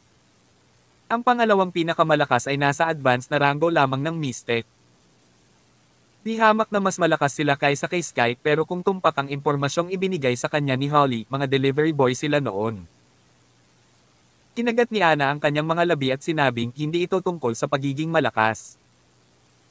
Makikita mo kapag dumating ang mga qualifying match. Ngunit narinig ko na ang henyo si Tristan Coleman ay ang pagmamalaki ng iyong Missouri na nakatiklop sa aming turf, California. Kahit si Terence Coleman ay wala na. Ano pang apoy ang hinihipan nyo? Kabanata 1045 Nang sabihin niyo ni Ana, agad na tumahimik ang grupo mula sa Missouri na kanina pa nagtatawanan matapos siyang pagtawanan. Si Tristan Coleman ay isang henyo at ang kanyang pangalan ay hindi lamang isang sensasyon sa walong maharlikang pamilya, ngunit ito rin ay parang isang kilalang signboard sa mundo ng martial arts sa Missouri. Hindi mabilang na mga youth martial artists ang ipinagmamalaki na nagmula sa parehong lugar ni Tristan. Gayunpaman, walang sino man ang mag-iisip na ang martial artist na binigyan ng titulong pinakabatang Earth Rank Master sa Amerika ay madudurog sa isang maliit na lugar tulad ng California. Hindi lamang siya namatay, maging ang Grandmaster ng pamilya Coleman ay namatay din kasama niya. Ang pamilyang Missouri Coleman ay halos inalis sa magdamag. Dahil dyan, hindi mabilang na mga tao sa Missouri ang pumiglas ng kanilang mga kamay at napabuntong hininga sa paghanga. M. Ang pumatay kay Tristan ay ang patriarch ng pamilya Stormer ng walong dakilang pamilya ng hari. Isa rin siyang Grandmaster at halos 80 taong gulang. Ang pagpatay kay Tristan ng ganoon, ito ay karaniwang pang-aapi sa mahihina. Ano ang napakahusay tungkol doon? Kung gusto kong patayin si Tristan, magiging madaling gawain iyon. Ang nagsabi nito ay ang Earthrank Warrior na siya ring pinuno ng misyong ito, si Travis Blair. Sabi ni Ana, Captain Blair, natatakot ako na nagkamali ka. Ang pumatay kay Tristan ay hindi ang patriarch ng pamilya Stormer, ngunit isa pang tao. Ang taong ito na narinig ko ay isang binata at mas bata pa siya kay Tristan. Mukhang hindi akalain ng lahat ng taong nakatayo sa harapan nila na nasa harapan nila ang pumatay kay Tristan at Terence at si Alex iyon. Pagkasabi niya nun ay napatingin siya kay Alex. Maraming emosyon ang dumaan sa kanyang mga mata nang gawin niya iyon. Sa sandaling sinabi niya iyon, ang iilan sa kanila ay naglabas ng mga ekspresyon ng pagkagulat at hindi paniniwala. Umuso si Travis. Ang daming kalokohan. Iisang tao ang pumatay kay Tristan at Terence. Kung wala ang kapangyarihan ng isang Grandmaster, paano nila ito nagawa? Sinasabi mo ba na ito ay isang batang Grandmaster? Anna Coleman, optimistic ako tungkol sa iyo at kung gusto mong lumipat sa dibisyon ng Missouri, matutulungan kitang aprobahan ito. Tingnan kung ano ang ginagawa mo sa ilalim ng sky kahit na pag-aaral kung paano pamemaki ng impormasyon kaya hindi makatotohanan. Parang may gustong sabihin si Ana pero naputol ito, sige tama na. Huwag nating pag-usapan ang lahat ng mga chismis na iyon. Sa kasong cross-state na ito, hinilingan kang tumulong dahil sa mga pangunahing issue. Gayunpaman, wala kayong maitutulong na dalawa. Pagdating namin sa Amaryllis Tower, maghintay ka lang sa labas. Pagkasabi niya nun ay sinulyapan niya si Alex. Hindi man lang ito isang sulyap na puno ng paghamak. Isang sulyap iyon na nagpapakita kung gaano kawalang halaga si Alex sa kanyang mga mata. Hindi halata sa kanya ang cultivation ni Alex at para siyang hindi marunong sa martial arts. Hindi siya katulad ni Ana kaya para saan siya. Siyempre, hindi niya alam na matagal nang isinilang si Alex at ang kanyang chi energy, gayon din ang mga espiritual na kapangyarihan, ay sobrang puro, at kadalasan ay walang kahit isang pagtagas o pag-aaksaya ng kanyang kapangyarihan. Ito ay hindi katulad ng mga taong tulad nila na ang panloob na enerhiya ay tumagas sa lahat ng oras. Ito rin ang dahilan kung paano masasabi ng isang tao ang antas ng paglilinang ng ibang tao. Ha? Natigilan si Ana nang marinig niyang sinabihan silang maghintay sa labas nang makarating sila. Anong ibig mong sabihin, U? Sabi ni Travis. Hindi mo alam ang sarili mong kakayahan. Sa inyong dalawa na ganito, magiging pabigat ka lang. Hindi ko alam kung ano ang iniisip ni Sky pinapadala sa inyong dalawa. Halos sabihin niya ang salitang basura. Anyway, huwag ka nalang hamarang sa amin. Hindi ito pinansin ni Alex at pumayag kaagad. Ako ay sumasang-ayon sa ganyan. Ang ilan sa kanila ay tumingin sa kanya na may mapanlate na tingin at ang kanilang mga ekspresyon ay tila nagsasabing "Eh, sino ang humingi ng iyong opinyon. Nang mapagpasyahan ng bagay, ang simula ng underground black boxing sa Amaryllis Tower ay alas 8 ng gabi at ang lokasyon ay sa sikat na ilog ng Michigan, ang Grand River. Para sa mga hindi nakakaalam, ang Amaryllis Tower ay isang klasikal at eleganteng pribadong club. Tanging ang mga nakakaalam ng totoong kwento ang makakaunawa na ito ay isang harapan lamang. Ang Amaryllis Tower ay tila may lightrati na kapaligiran sa ibabaw, ngunit ito ay isang madugong labanan ng buhay at kamatayan sa ilalim nito.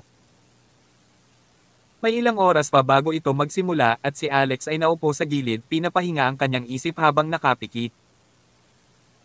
Sa isip niya patuloy niyang binabago ang mga pattern ng rune na iniwan ng Dragon's Bane of 36 na 36 sa kabuuan. Wala pa siyang nakumpleto kahit isa dahil lahat sila ay komplikado at mahirap intindihin ng lubusan. Sa malapit may lumapit kay Ana para kausapin.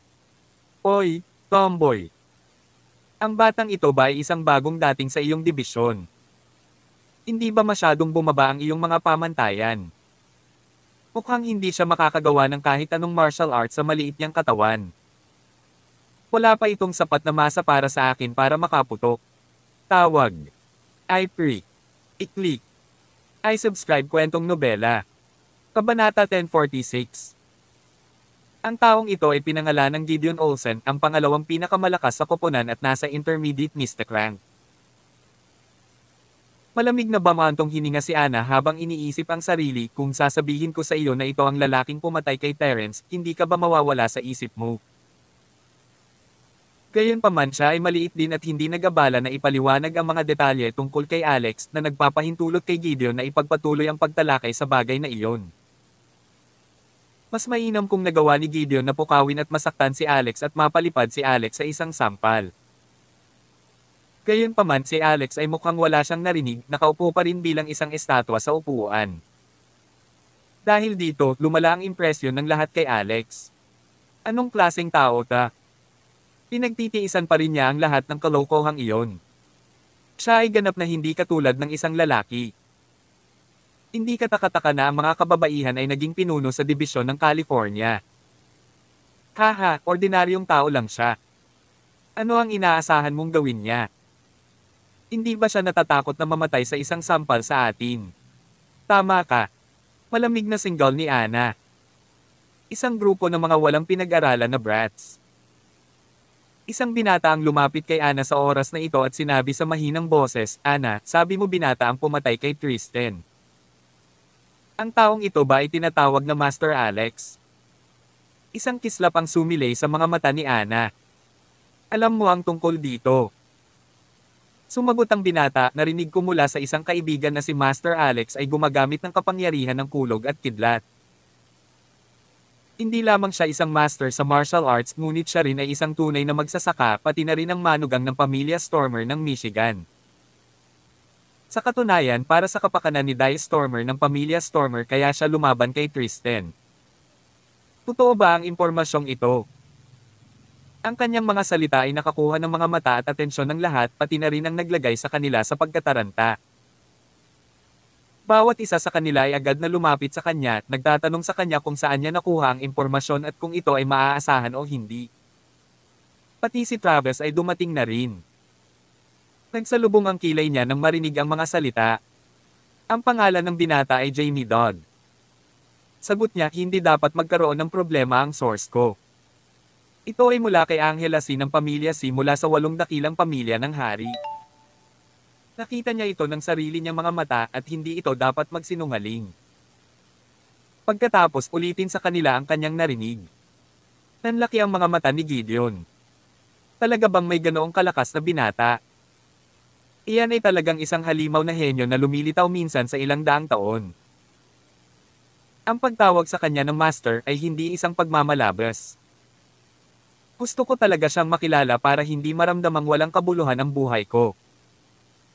Humanggo ang lahat bilang pagsang-ayon, halata sa mukha nila ang paghanga. Kahit na totoo ang impormasyon, hindi mo kailangang tingnan ito. Ang ilang mga tao ay may kasanayan sa pagpapanatili ng kanilang hitsura ng kabataan o natural na may mukha ng sanggol.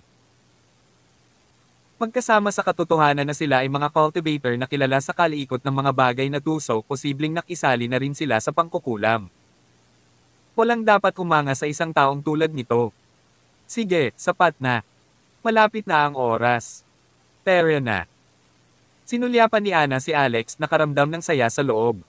Ang daming tanga. Hindi man lang nila masabi na nasa harap ng kanilang mga mata ang kausap nila. Malamang kailangan nila ng bagong pares ng mata. S asterisk si Richard asterisk. Kasabay nito sa Amaryllis Tower. Ang may-ari ng tore, si Joshua Jones, ay nakikipag-usap sa isang nasa katanghaliang gulang at matabang lalaki. Master Jones, maraming salamat sa pagkakataong ito. Narito ang 20 milyon. Please take it to have some tea, sabi ng matabang lalaki na may matingkad na ngiti sa kanyang mukha. 20 milyon para uminom ng tsaa. Mr. Lee, pambihira ka talaga. 20 milyon ba talaga si Stephen Hendricks? Si Joshua Jones ay isang kalbo na lalaki at ang kanyang mga templo ay kitang-kita na nagpapahiwatig na siya ay isang dalubhasa sa panloob na lakas. Pupunta ba ako at papatayin siya para sa iyo? Hindi hindi hindi. Agad namang tumutol ang taong grasa. Hayaan mo siyang mabuhay. May mga gamit pa para sa kanya. Olderly, hindi natin kailangang magpatalo. Matagal na tayong magkakilala, ano ang hindi natin alam sa isa't isa. Ang iyong mga bulsa ay palaging sarado ng mahigpit, ngunit hindi lamang 30 milyon ang ibinigay mo sa amin bilang bayad sa paggawa sa oras na ito, ngunit binigyan mo rin kami ng 20 milyon sa itaas. Ito ay lubhang hindi katulad mo. Halika, ano pa ba ang mayroon?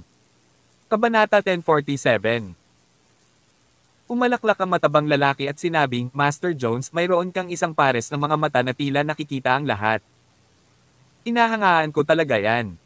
There's this small little thing.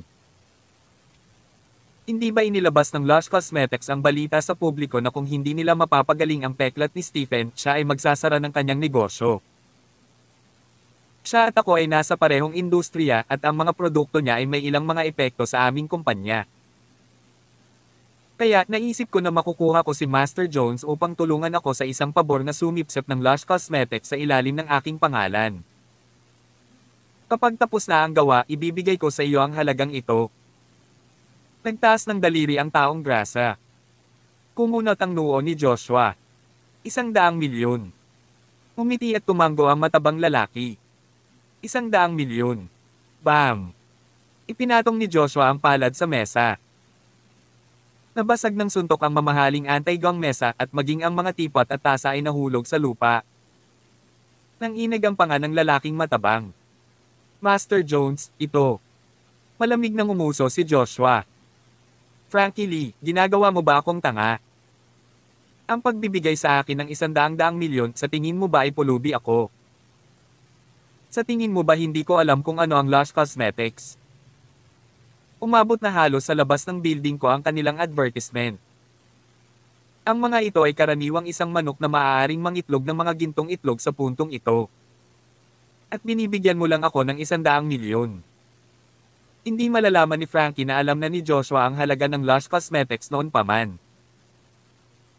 Nanlamig ang kanyang puso at sinabi niya, Master Jones, kung gayon, maaari mong pangalanan ang isang figure. Iniunat ni Joshua ang kanyang mga daliri, Ipinahiwatig nito ang bilang siyam. 900 million. Okay deal. Sabi ni Frankie habang nagngangalit ang mga ngipin. Gumawa rin siya ng mga produktong pangtanggal ng peklat ngunit sinakop ng Lush Scar Removal Cream ang pinakamalaking bahagi sa mundo ng mga kosmetiko ngayon. Nakuha niya ang produkto sa pamamagitan ng kanyang mga koneksyon at pagkatapos gamitin ito, nagulat siya sa kung gaano kaganda ang epekto nito. Hindi pa rin siya makapaniwala sa sobrang galing nito. Kung ikukumpara sa kanyang mga produkto, ang kanyang produkto ay halos she asterisk T. Madaling isipin na kapag naitatag na ang katanyagan at kumpiyansa ng Lush Cosmetics, ilang oras na lang ay aabandonahin na ng mga tao ang kanyang Brilliant Eye Scar Removal Cream. Kaya kailangan niyang pigilan ang pag-unlad ng kumpiyansa sa tatak ng Lush Cosmetics. Isa pa, labis siyang nainggit sa mga produktong gawa ng Lush Cosmetics. Siyam na raang milyon ay maayos. Hanggat kaya niyang kontrolin ang mga produkto sa Lush Cosmetics, ang halaga ay madaling mabawi. Umisi si Joshua. Sino ba nagsabing 900 million? Kapag kumuha ka ng Lush Cosmetics, gusto ko ng 70% ng shares ng iyong kumpanya. Ano? Master Jones, ikaw. Nagbibiro ka tama ba? Ako si Joshua Jones. Hindi ako nagbibiro. Master Jones, ito. Imposible iyon. Kung gayon baka hindi ka makalabas sa Amaryllis Tower ko. Nanginginig ang buong katawan ni Frankie. Namutla ang mukha niya. Nagsisi siya ngayon na humiling kay Joshua na tumulong sa pagharap sa Lush Cosmetics. Imposibleng makipag-ayos sa kontrabida at asahan na hindi sila makikinabang sa kanilang sarili at napunta siya sa mga mapanganib na lugar. Gayunpaman, bukod sa pagsang-ayon sa mga kondisyon ni Joshua, wala siyang ibang pagpipilian. S asterisk si Richard asterisk. Sa pampang ng ilog ng Grand River, ang simoy ng hangin sa gabi ay humihip ng mabagal. May mga paminsan-minsang ingay ng mga alon ng tubig na tumatama sa dalampasigan at nakaka-relax itong pakinggan. Ang Amaryllis Tower ay nakaupo sa hilagang silangan na sulok ng pinakamaunlad na Astronomy Square at napapaligiran ito ng mga pedestrian na naglalakad kahit saan. At bawat taong naglalakad sa lugar na ito ay tumitingin sa Amaryllis Tower bilang paghanga. Sa kasamaang palad, ang Amaryllis Tower ay hindi isang gusali na madaling ma-access ng kahit sino. Mayroon itong sistema ng membership at ang isang ordinaryong membership card ay nagkakahalaga ng isang milyon kada taon. May mga alingongaw na ang pinakamataas na ranggo na membership card, ang Supreme VIP card, ay nangangailangan ng membership fee na isang daang milyon sa isang taon at hindi malinaw kung anong uri ng mga serbisyo ang kasama nito. Maya-maya, dumating na si Alex at ang iba pa. Para makapasok sa Amaryllis Tower, anim kaming gumastos ng kabuoang 6 na milyon sa pagbili ng mga membership card. Dahil wala kang mga card, manatili lang sa labas at maghintay na marinig mula sa amin. Kung may abnormalidad, ipaalam ka agad sa akin. Pagkatapos niyang makipag-usap kay Ana, pinapasok niya ang grupo ng mga tao. Di minsan ay hindi niya sinulyapan si Alex na para bang invisible siya. Nang makapasok na sila sa gusali, sinabi ni Ana, talaga bang maghihintay tayo dito? Ang mga taong iyon ay talagang hindi alam ang kanilang mga bagay. Ni hindi nila makita ang isang Panginoong tulad mo na nakatayo sa harapan nila. Umiling si Alex. Sa lakas ni Travis, natatakot ako na hindi ito magiging maganda para sa kanila sa loob. Pumasok na rin tayo. Nagkataon na may itatanong pa rin ako kay Joshua Jones. Ha? Ngunit wala kaming mga membership card. Bakit kailangan natin iyon? Diretso lang tayo. Tawag. I-pre. I-click. I-subscribe kwentong nobela. Kabanata 1048. Ito ay hindi tulad ng ito ay imposible. Hindi alam ng dalawa na bago pa man makapasok si Travis at ang iba pa sa gusali ay napahinto sila bago pa man sila makapasok sa underground black boxing venue. Hello, hindi pamilyar ang mga mukha nito. Saan ka nang galing? Ang nakapidyo sa kanila ay isang binata na nakamohok ang hairstyle. Nang matapos siyang magsalita, sumugod ang isang dosenang tao mula sa kanyang likuran. Iba-iba ang suot ng lahat. Halos bawat isa sa kanila ay may mga tato sa kanilang mga katawan na may kakaibang disenyo. Higit sa lahat mayroong dalawang dayuhan. Kumunat ang noo ni Travis mahinahon ang boses habang sinasabi, nandito tayo para magsugal. Haha, ang iilan sa amin ay karaniwang nagtatrabaho sa labas at hindi kami madalas na pumupunta rito. Kaya pala parang hindi tayo pamilyar, haha. Sino ang nag-refer sa iyo? Mati.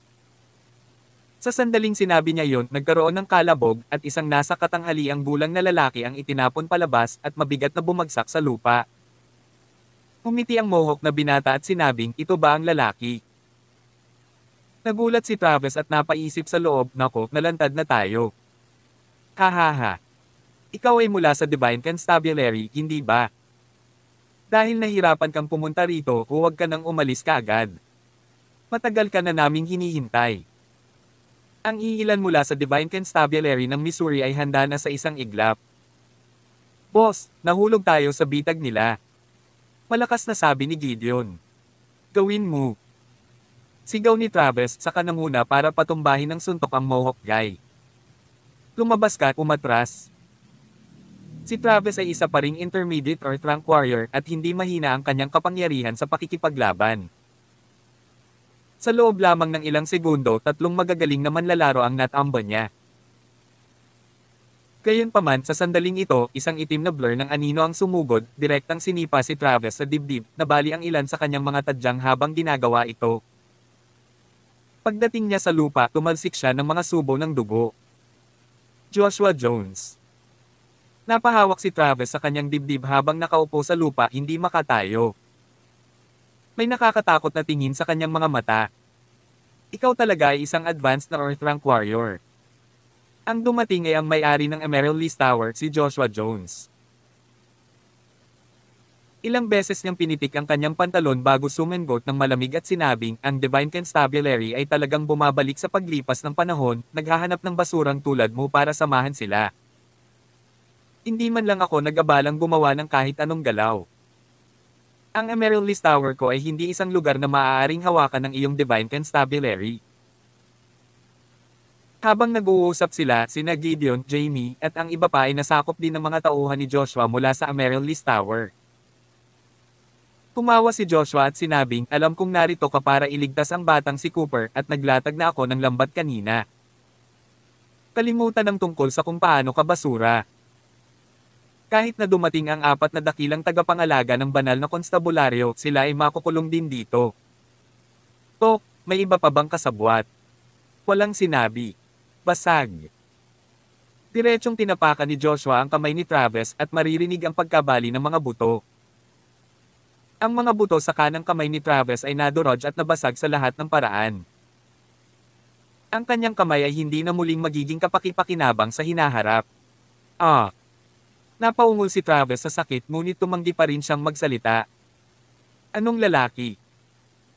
Pagkatapos tingnan ko kung ang iba pang lima ay katulad mo na itinuturing ang kamatayan tulad ng pag-uwi.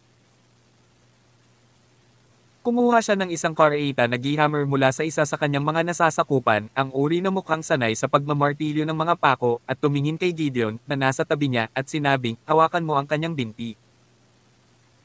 Gustong gusto kong marinig ang tunog ng isang nikap na dinudurog ng bakal na martilyo. Sa isang hit, maghihiwalay ang buto at laman. Nanginginig sa takot si Gideon nang kumilos sila para hawakan ang kanyang mga paa at siya ay napabuga ng malamig na pawis. Nang makitang itinaas ang martilyo, natakot siya hanggang sa naiihi niya ang kanyang pantalon at malakas na napabulalas, magsasalita ako, magsasalita ako. May dalawang tao sa labas. Galit na sinabi ni Travis Gideon Olsen, hindi ka bastos na tao. Umiyak si Gideon, boss, ayaw kong maging pilot. Dahil ang dalawang iyon ay basura pa rin at hindi sila mula sa dibisyon ng Missouri. Paano kung mahuli sila? Ibinaba ni Joshua ang sledgehammer, isang ngiti sa kanyang mukha habang sinasabi niya ang isang matalinong tao ay nagpapasakop sa kanilang mga kalagayan. Halika, humayo ka at hulihin ang mga ipis sa labas. Gayunpaman sa sandaling ito, isang dumadagandong na boom ang nagmula sa pasukan ng Emerald List Tower, ang pinto nito ay sinipa ng isang tao. Ang dalawang gwardya na nakatayo sa pintuan ay lumilipad sa hangin kasama ang mga pinto. Joshua Jones, lumabas ka dito. Tumagundong ang isang boses na parang kulog. At pagkatapos sa ilalim ng nakatulala ng mga tingin ni na Travis, Gideon, at ng iba pa, dahan-daang pumasok sina Alex at Anna. Kabanata 1049 F asterisk C lahat ng anim na miyembro mula sa Missouri's Divine Constabulary ay dilat ang kanilang mga mata at panga, nagtatakang nakatingin sa pagpasok ni na Alex at Anna, ang kanilang mga isipan ay puno ng tandang pananong. Nabaliw na ba ang dalawang ito? Para makapasok sa Emerald List Tower ng ganito. Seryoso, sinusubukan ba nilang mapabilis ang kanilang kamatayan? Para bang hindi pa sapat ang bilis nito?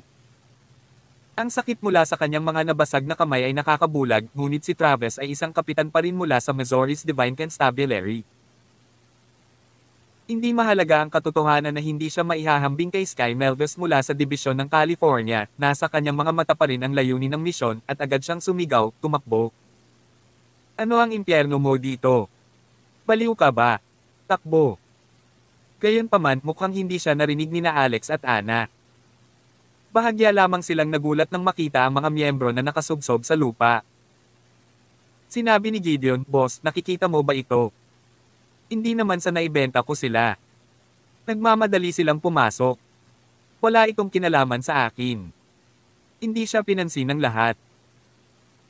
Nagdilim ang mga mata ni Joshua at malamig na tinitigan niya sina Alex at Ana habang sinasabi niya sa mataimtim na boses, ang Emerald Tower ko ay naitatag na sa loob ng dalawampung taon. Noon para maging mas maganda ang katayuan nito, ang dalawang pinto ay itinayo mula sa libong taong gulang na mga puno. Hindi pa sila sinisipa ng kahit sino. Kayo ang unang gumawa nito. Walang pakialam na sabi ni Alex, your Emerald List Tower. Ikaw ba ang may-ari kung gayon Joshua Jones? Hindi sumagot si Joshua ngunit nagpatuloy, may naghanap ng gulo sa Emerald List Tower ko dati. Alam mo ba kung paano ito natapos? Tatlong henerasyon ang nagkasala sa pamamagitan ng pagsasamahan at pinatay. Ngunit sa oras na iyon, walang nagpadala sa aking mga pintuan na lumilipad din. Ikaw ba si Joshua Jones o hindi?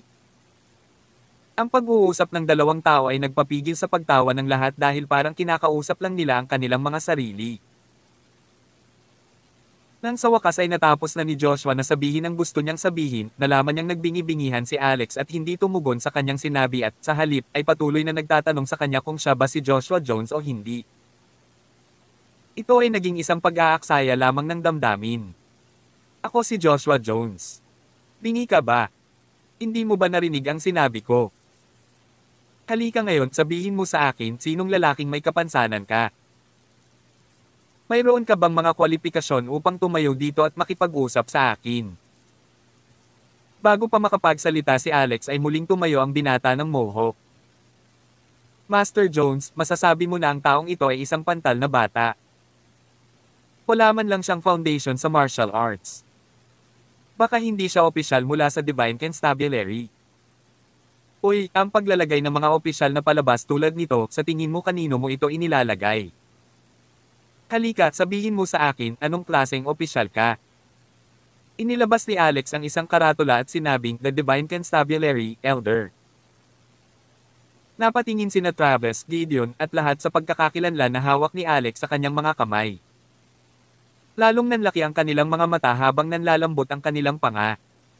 Iniisip nila kung may mali sa kanilang mga mata. Paano naging matanda ang lalaking ito? Sabi ni Jamie, Boss, may mga post ba tayo para sa civilian elder? Nagsalubong ang kilay ni Travis. Ito. Hindi ako sigurado. Baka meron. Pakiramdam ng lahat ay parang natapakan lang sila ng 10,000 alpaka. Nang makita ni Ana ang magagandang ekspresyon sa kanilang mga mukha, hindi niya maiwasang matuwa sa loob. Noong una ay kinabahan siya nang sumugod sila sa Amaryllis Tower, ngunit ngayon, hindi niya maiwasang matuwa sa halip. Ipinanganak siya sa Michigan at mayroon siyang mas malalim na pangunawa sa Amaryllis Tower kaysa sa iba. Sinundan pa niya ang mga nakatatanda sa kanyang pamilya upang panoorin ang madugong labanan sa arena dito noon. May malalim na psikolohikal na anino sa kanya tungkol sa Amaryllis Tower. Ngayon, sinundan niya si Alex at sumugod sa lugar, sinipa ang pinto sa mga bisagra sa isang paputok na suntok. Ang penonibik, tensyon, at kaba na iyon ay mas sumasabog kaysa sa pagbulong sa pagitan ng mga kumot kasama ang isang lalaki, bagamat hindi niya ito ginawa noon. Kapag sinundan niya si Alex, makakakuha siya ng mga karanasan na parang kilig sa pagsakay sa roller coaster. Nagulat ang lalaking mohawk at inabot niya ang token ng pagkakakilanlan, ngunit hinayla ito ni Alex mula sa kanyang maabot at inilalayo. Tapos sabi niya, so, ngayong nakilala ko na ang sarili ko, ipagpapatuloy mo pa rin ba ang pagharap sa Divine Constabulary ng Lantaran? Joshua Jones, may itatanong ako sa iyo at sana masagot mo ng totoo. Umagalpak ng tawa si Joshua. Nakaka-interes, napaka-interesante. Anak, ikaw ang pinakakawili-wiling bata na nakita ko sa Divine Constabulary. Pero, may rule ako sa Amaryllis Tower. Ang mga matatanda mula sa Divine Constabulary ay kailangang lumuhod bago nila ako makausap. Halika, isang tao, baliin ang kanyang mga paa. Si Travis at ang iba pa niyang grupo ay walang imak. Saan ba nakahanap ng ganyang tao si Sky, ang tanggang iyon at nirekomenda pa siyang maging elder? Pwede bang pangalawang henerasyon ang pumunta sa Divine Constabulary para makipaglaro? Ito ay isinugal lamang ang iyong buhay. Ang lalaking mohawk ang pinakamabilis na gumalaw. Kumuha siya ng isang stick mula sa God knows where and swing it towards Alex's legs with a whoosh. Nagtawanan at umiling ang lahat nang makita ang stick na kalahating metro lang ang layo kay Alex ngunit hindi pa rin siya umiwas. Naisip nila na siya ay narot sa lugar sa pagkabigla at hindi alam kung paano ito iiwasan. In the end, isa lang talaga siyang inutil na clerical official at alam lang kung paano magpalabas. Tawag. I prick. I-click. I subscribe kwentong nobela. Kabanata 1050. Kahit si Ana ay napasigaw sa gulat, Alex, umiwas ka. Huli na para umiwas. Snap. Basag. Ang kahoy na patpat ay tumama sa tuhod ni Alex. Ang tunog ay parang nabasag ang kanyang tuhod ngunit ang hiyaw ng sakit ay hindi sumunod. Nakatayo doon si Alex nang hindi gumagalaw. Ito ay ang kahoy na stick sa kamay ng Mohawk guy na nasira sa kalahati. F asterisk sick, paano ito posible? Hayaan mo ako. Isa pang nakatato na bata ang tumalon, isang bakal na pamalo sa kanyang kamay at marahas niya itong inihampas sa binti ni Alex. Dong. Ang baras na bakal ay tumalbog pabalik na katungo. Ang mga binti ni Alex ay mukhang ganap na buo. Maging ang kanyang katawan ay hindi gumagalaw kahit isang pulgada mula sa kanyang kinatatayuan. Natigilan ang lahat ng naroon. Nagbago ang ekspresyon ni Joshua. Lalong nanlaki ang mga mata ni Travis tila hindi makapaniwala sa mga mata nito. Napalunok si Gideon. Ito ba ang lalaking binibiro nilang mapapatay nila sa isang sampal? F asterisk sick, hindi ako naniniwala dito. Galit na itinapon ito ng taong gumamit ng bakal. Master Jones, mangyaring pahiram sa akin ang iyong sledgehammer. Dinampot niya ang malaking martilyo at muli itong inihampas ng malakas sa mga binti ni Alex. Kung ang suntok na iyon ay tumama, kalimutan ng tungkol sa pagiging isang prosthesis. Kahit nagawa sa bakal o halwang metal ang kanyang mga tuhod, mapapatag pa rin ito sa suntok na ito. Dong. Isang dilaw na ilaw ang kumislap. Ang bakal na sledgehammer ay marahas na inalog at umikot ito sa hangin, tumama sa balikat ng ilang malas na damuhan na napunit kagad ang kanyang mga balikat. Tulad ng para kay Alex na natili pa rin siya sa parehong lugar perpektong hindi nasaktan. Ngayon, kalimutan ang tungkol sa mga tao mula sa Missouri's Divine Constabulary. Maging ang mukha ni Joshua ay naging seryoso. Kung ang tuhod niya ang tumama, siguradong nabasag na ito. May iba pa bang gustong sumubok? Sa wakas ay nagsalita si Alex. Medyo nadismaya siya. Matapos masira ang kanyang cultivation level sa Divine Transcendence, ang kanyang buong katawan ay naipanganak na muli. Hindi man lang binanggit ang kanyang mystic armor, ang kanyang pisikal na katawan lamang ay tumigas hanggang sa punto na kahit mga espada ay mahihirapang tumago sa kanya. Kung i-activate niya ang kanyang mystic armor kahit na ang mga bala ay hindi makakapasok sa kanya. Gayunpaman, ang mga pag-atake mula sa mga ordinaryong mandirigma ay hindi na makakatulong sa mystic armor na tumaas ang antas nito. Wala sa mga kampa ni Joshua ang umahan. Bahagyang ngumiti si Alex at sa sumunod na iglap, nag-iba ang aura sa kanyang katawan, tumetalas na parang talam na kakalabas lang. Ang pag-atake sa isang elder mula sa Divine Constabulary, isang pagtatangka ng sinasadyang pagpatay, ang intensyon ng pagre-rebelde, lahat ito ay mga parusang kasalanan. Sinabi niya. Ang kanyang figure ay kumislap at ang ulo ng lalaking mohawk ay biglang nasa kanyang kamay. Ang bilis ay masyadong mabilis at ang lahat ay nakakita lamang ng pagkalabo sa kanilang mga mata. Ang Mohawk head guy ay hindi bababa sa limang metro ang layo mula sa kanya ngayon at ngayon ang kanyang ulo ay nasa kamay ni Alex. Siyempre, hindi ibig sabihin na literal na nasa mga kamay niya ang ulo ng Mohawk guy at patay na siya. Si Alex lang ang sumugod at niyakap siya. Ito ay masyadong mabilis. Inawakan niya ito at bumalik sa kanyang orihinal na posisyon at ang lahat ay tila isang ilusyon. Pinisil ni Alex ang leeg ng Mohawk guy, malamig ang boses nito habang nagtatanong, may pagtutol ka ba? Ang leeg ng Mohawk na lalaki ay pinipiga at wala siyang masabi. Namumula ang kanyang mukha dahil sa kawalan ng hangin. Ugh, erg. Ang hindi pagsasalita ay pag-amin. Sabi ni Alex. Basag. Dahan-dahang idiniin ni Alex at agad na bumagsak ang ulo ng lalaking Mohawk.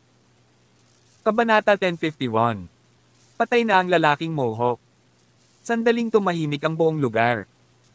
Ang mga miyembro mula sa Missouri's Divine Constabulary ay natigilan hindi nakapagsalita.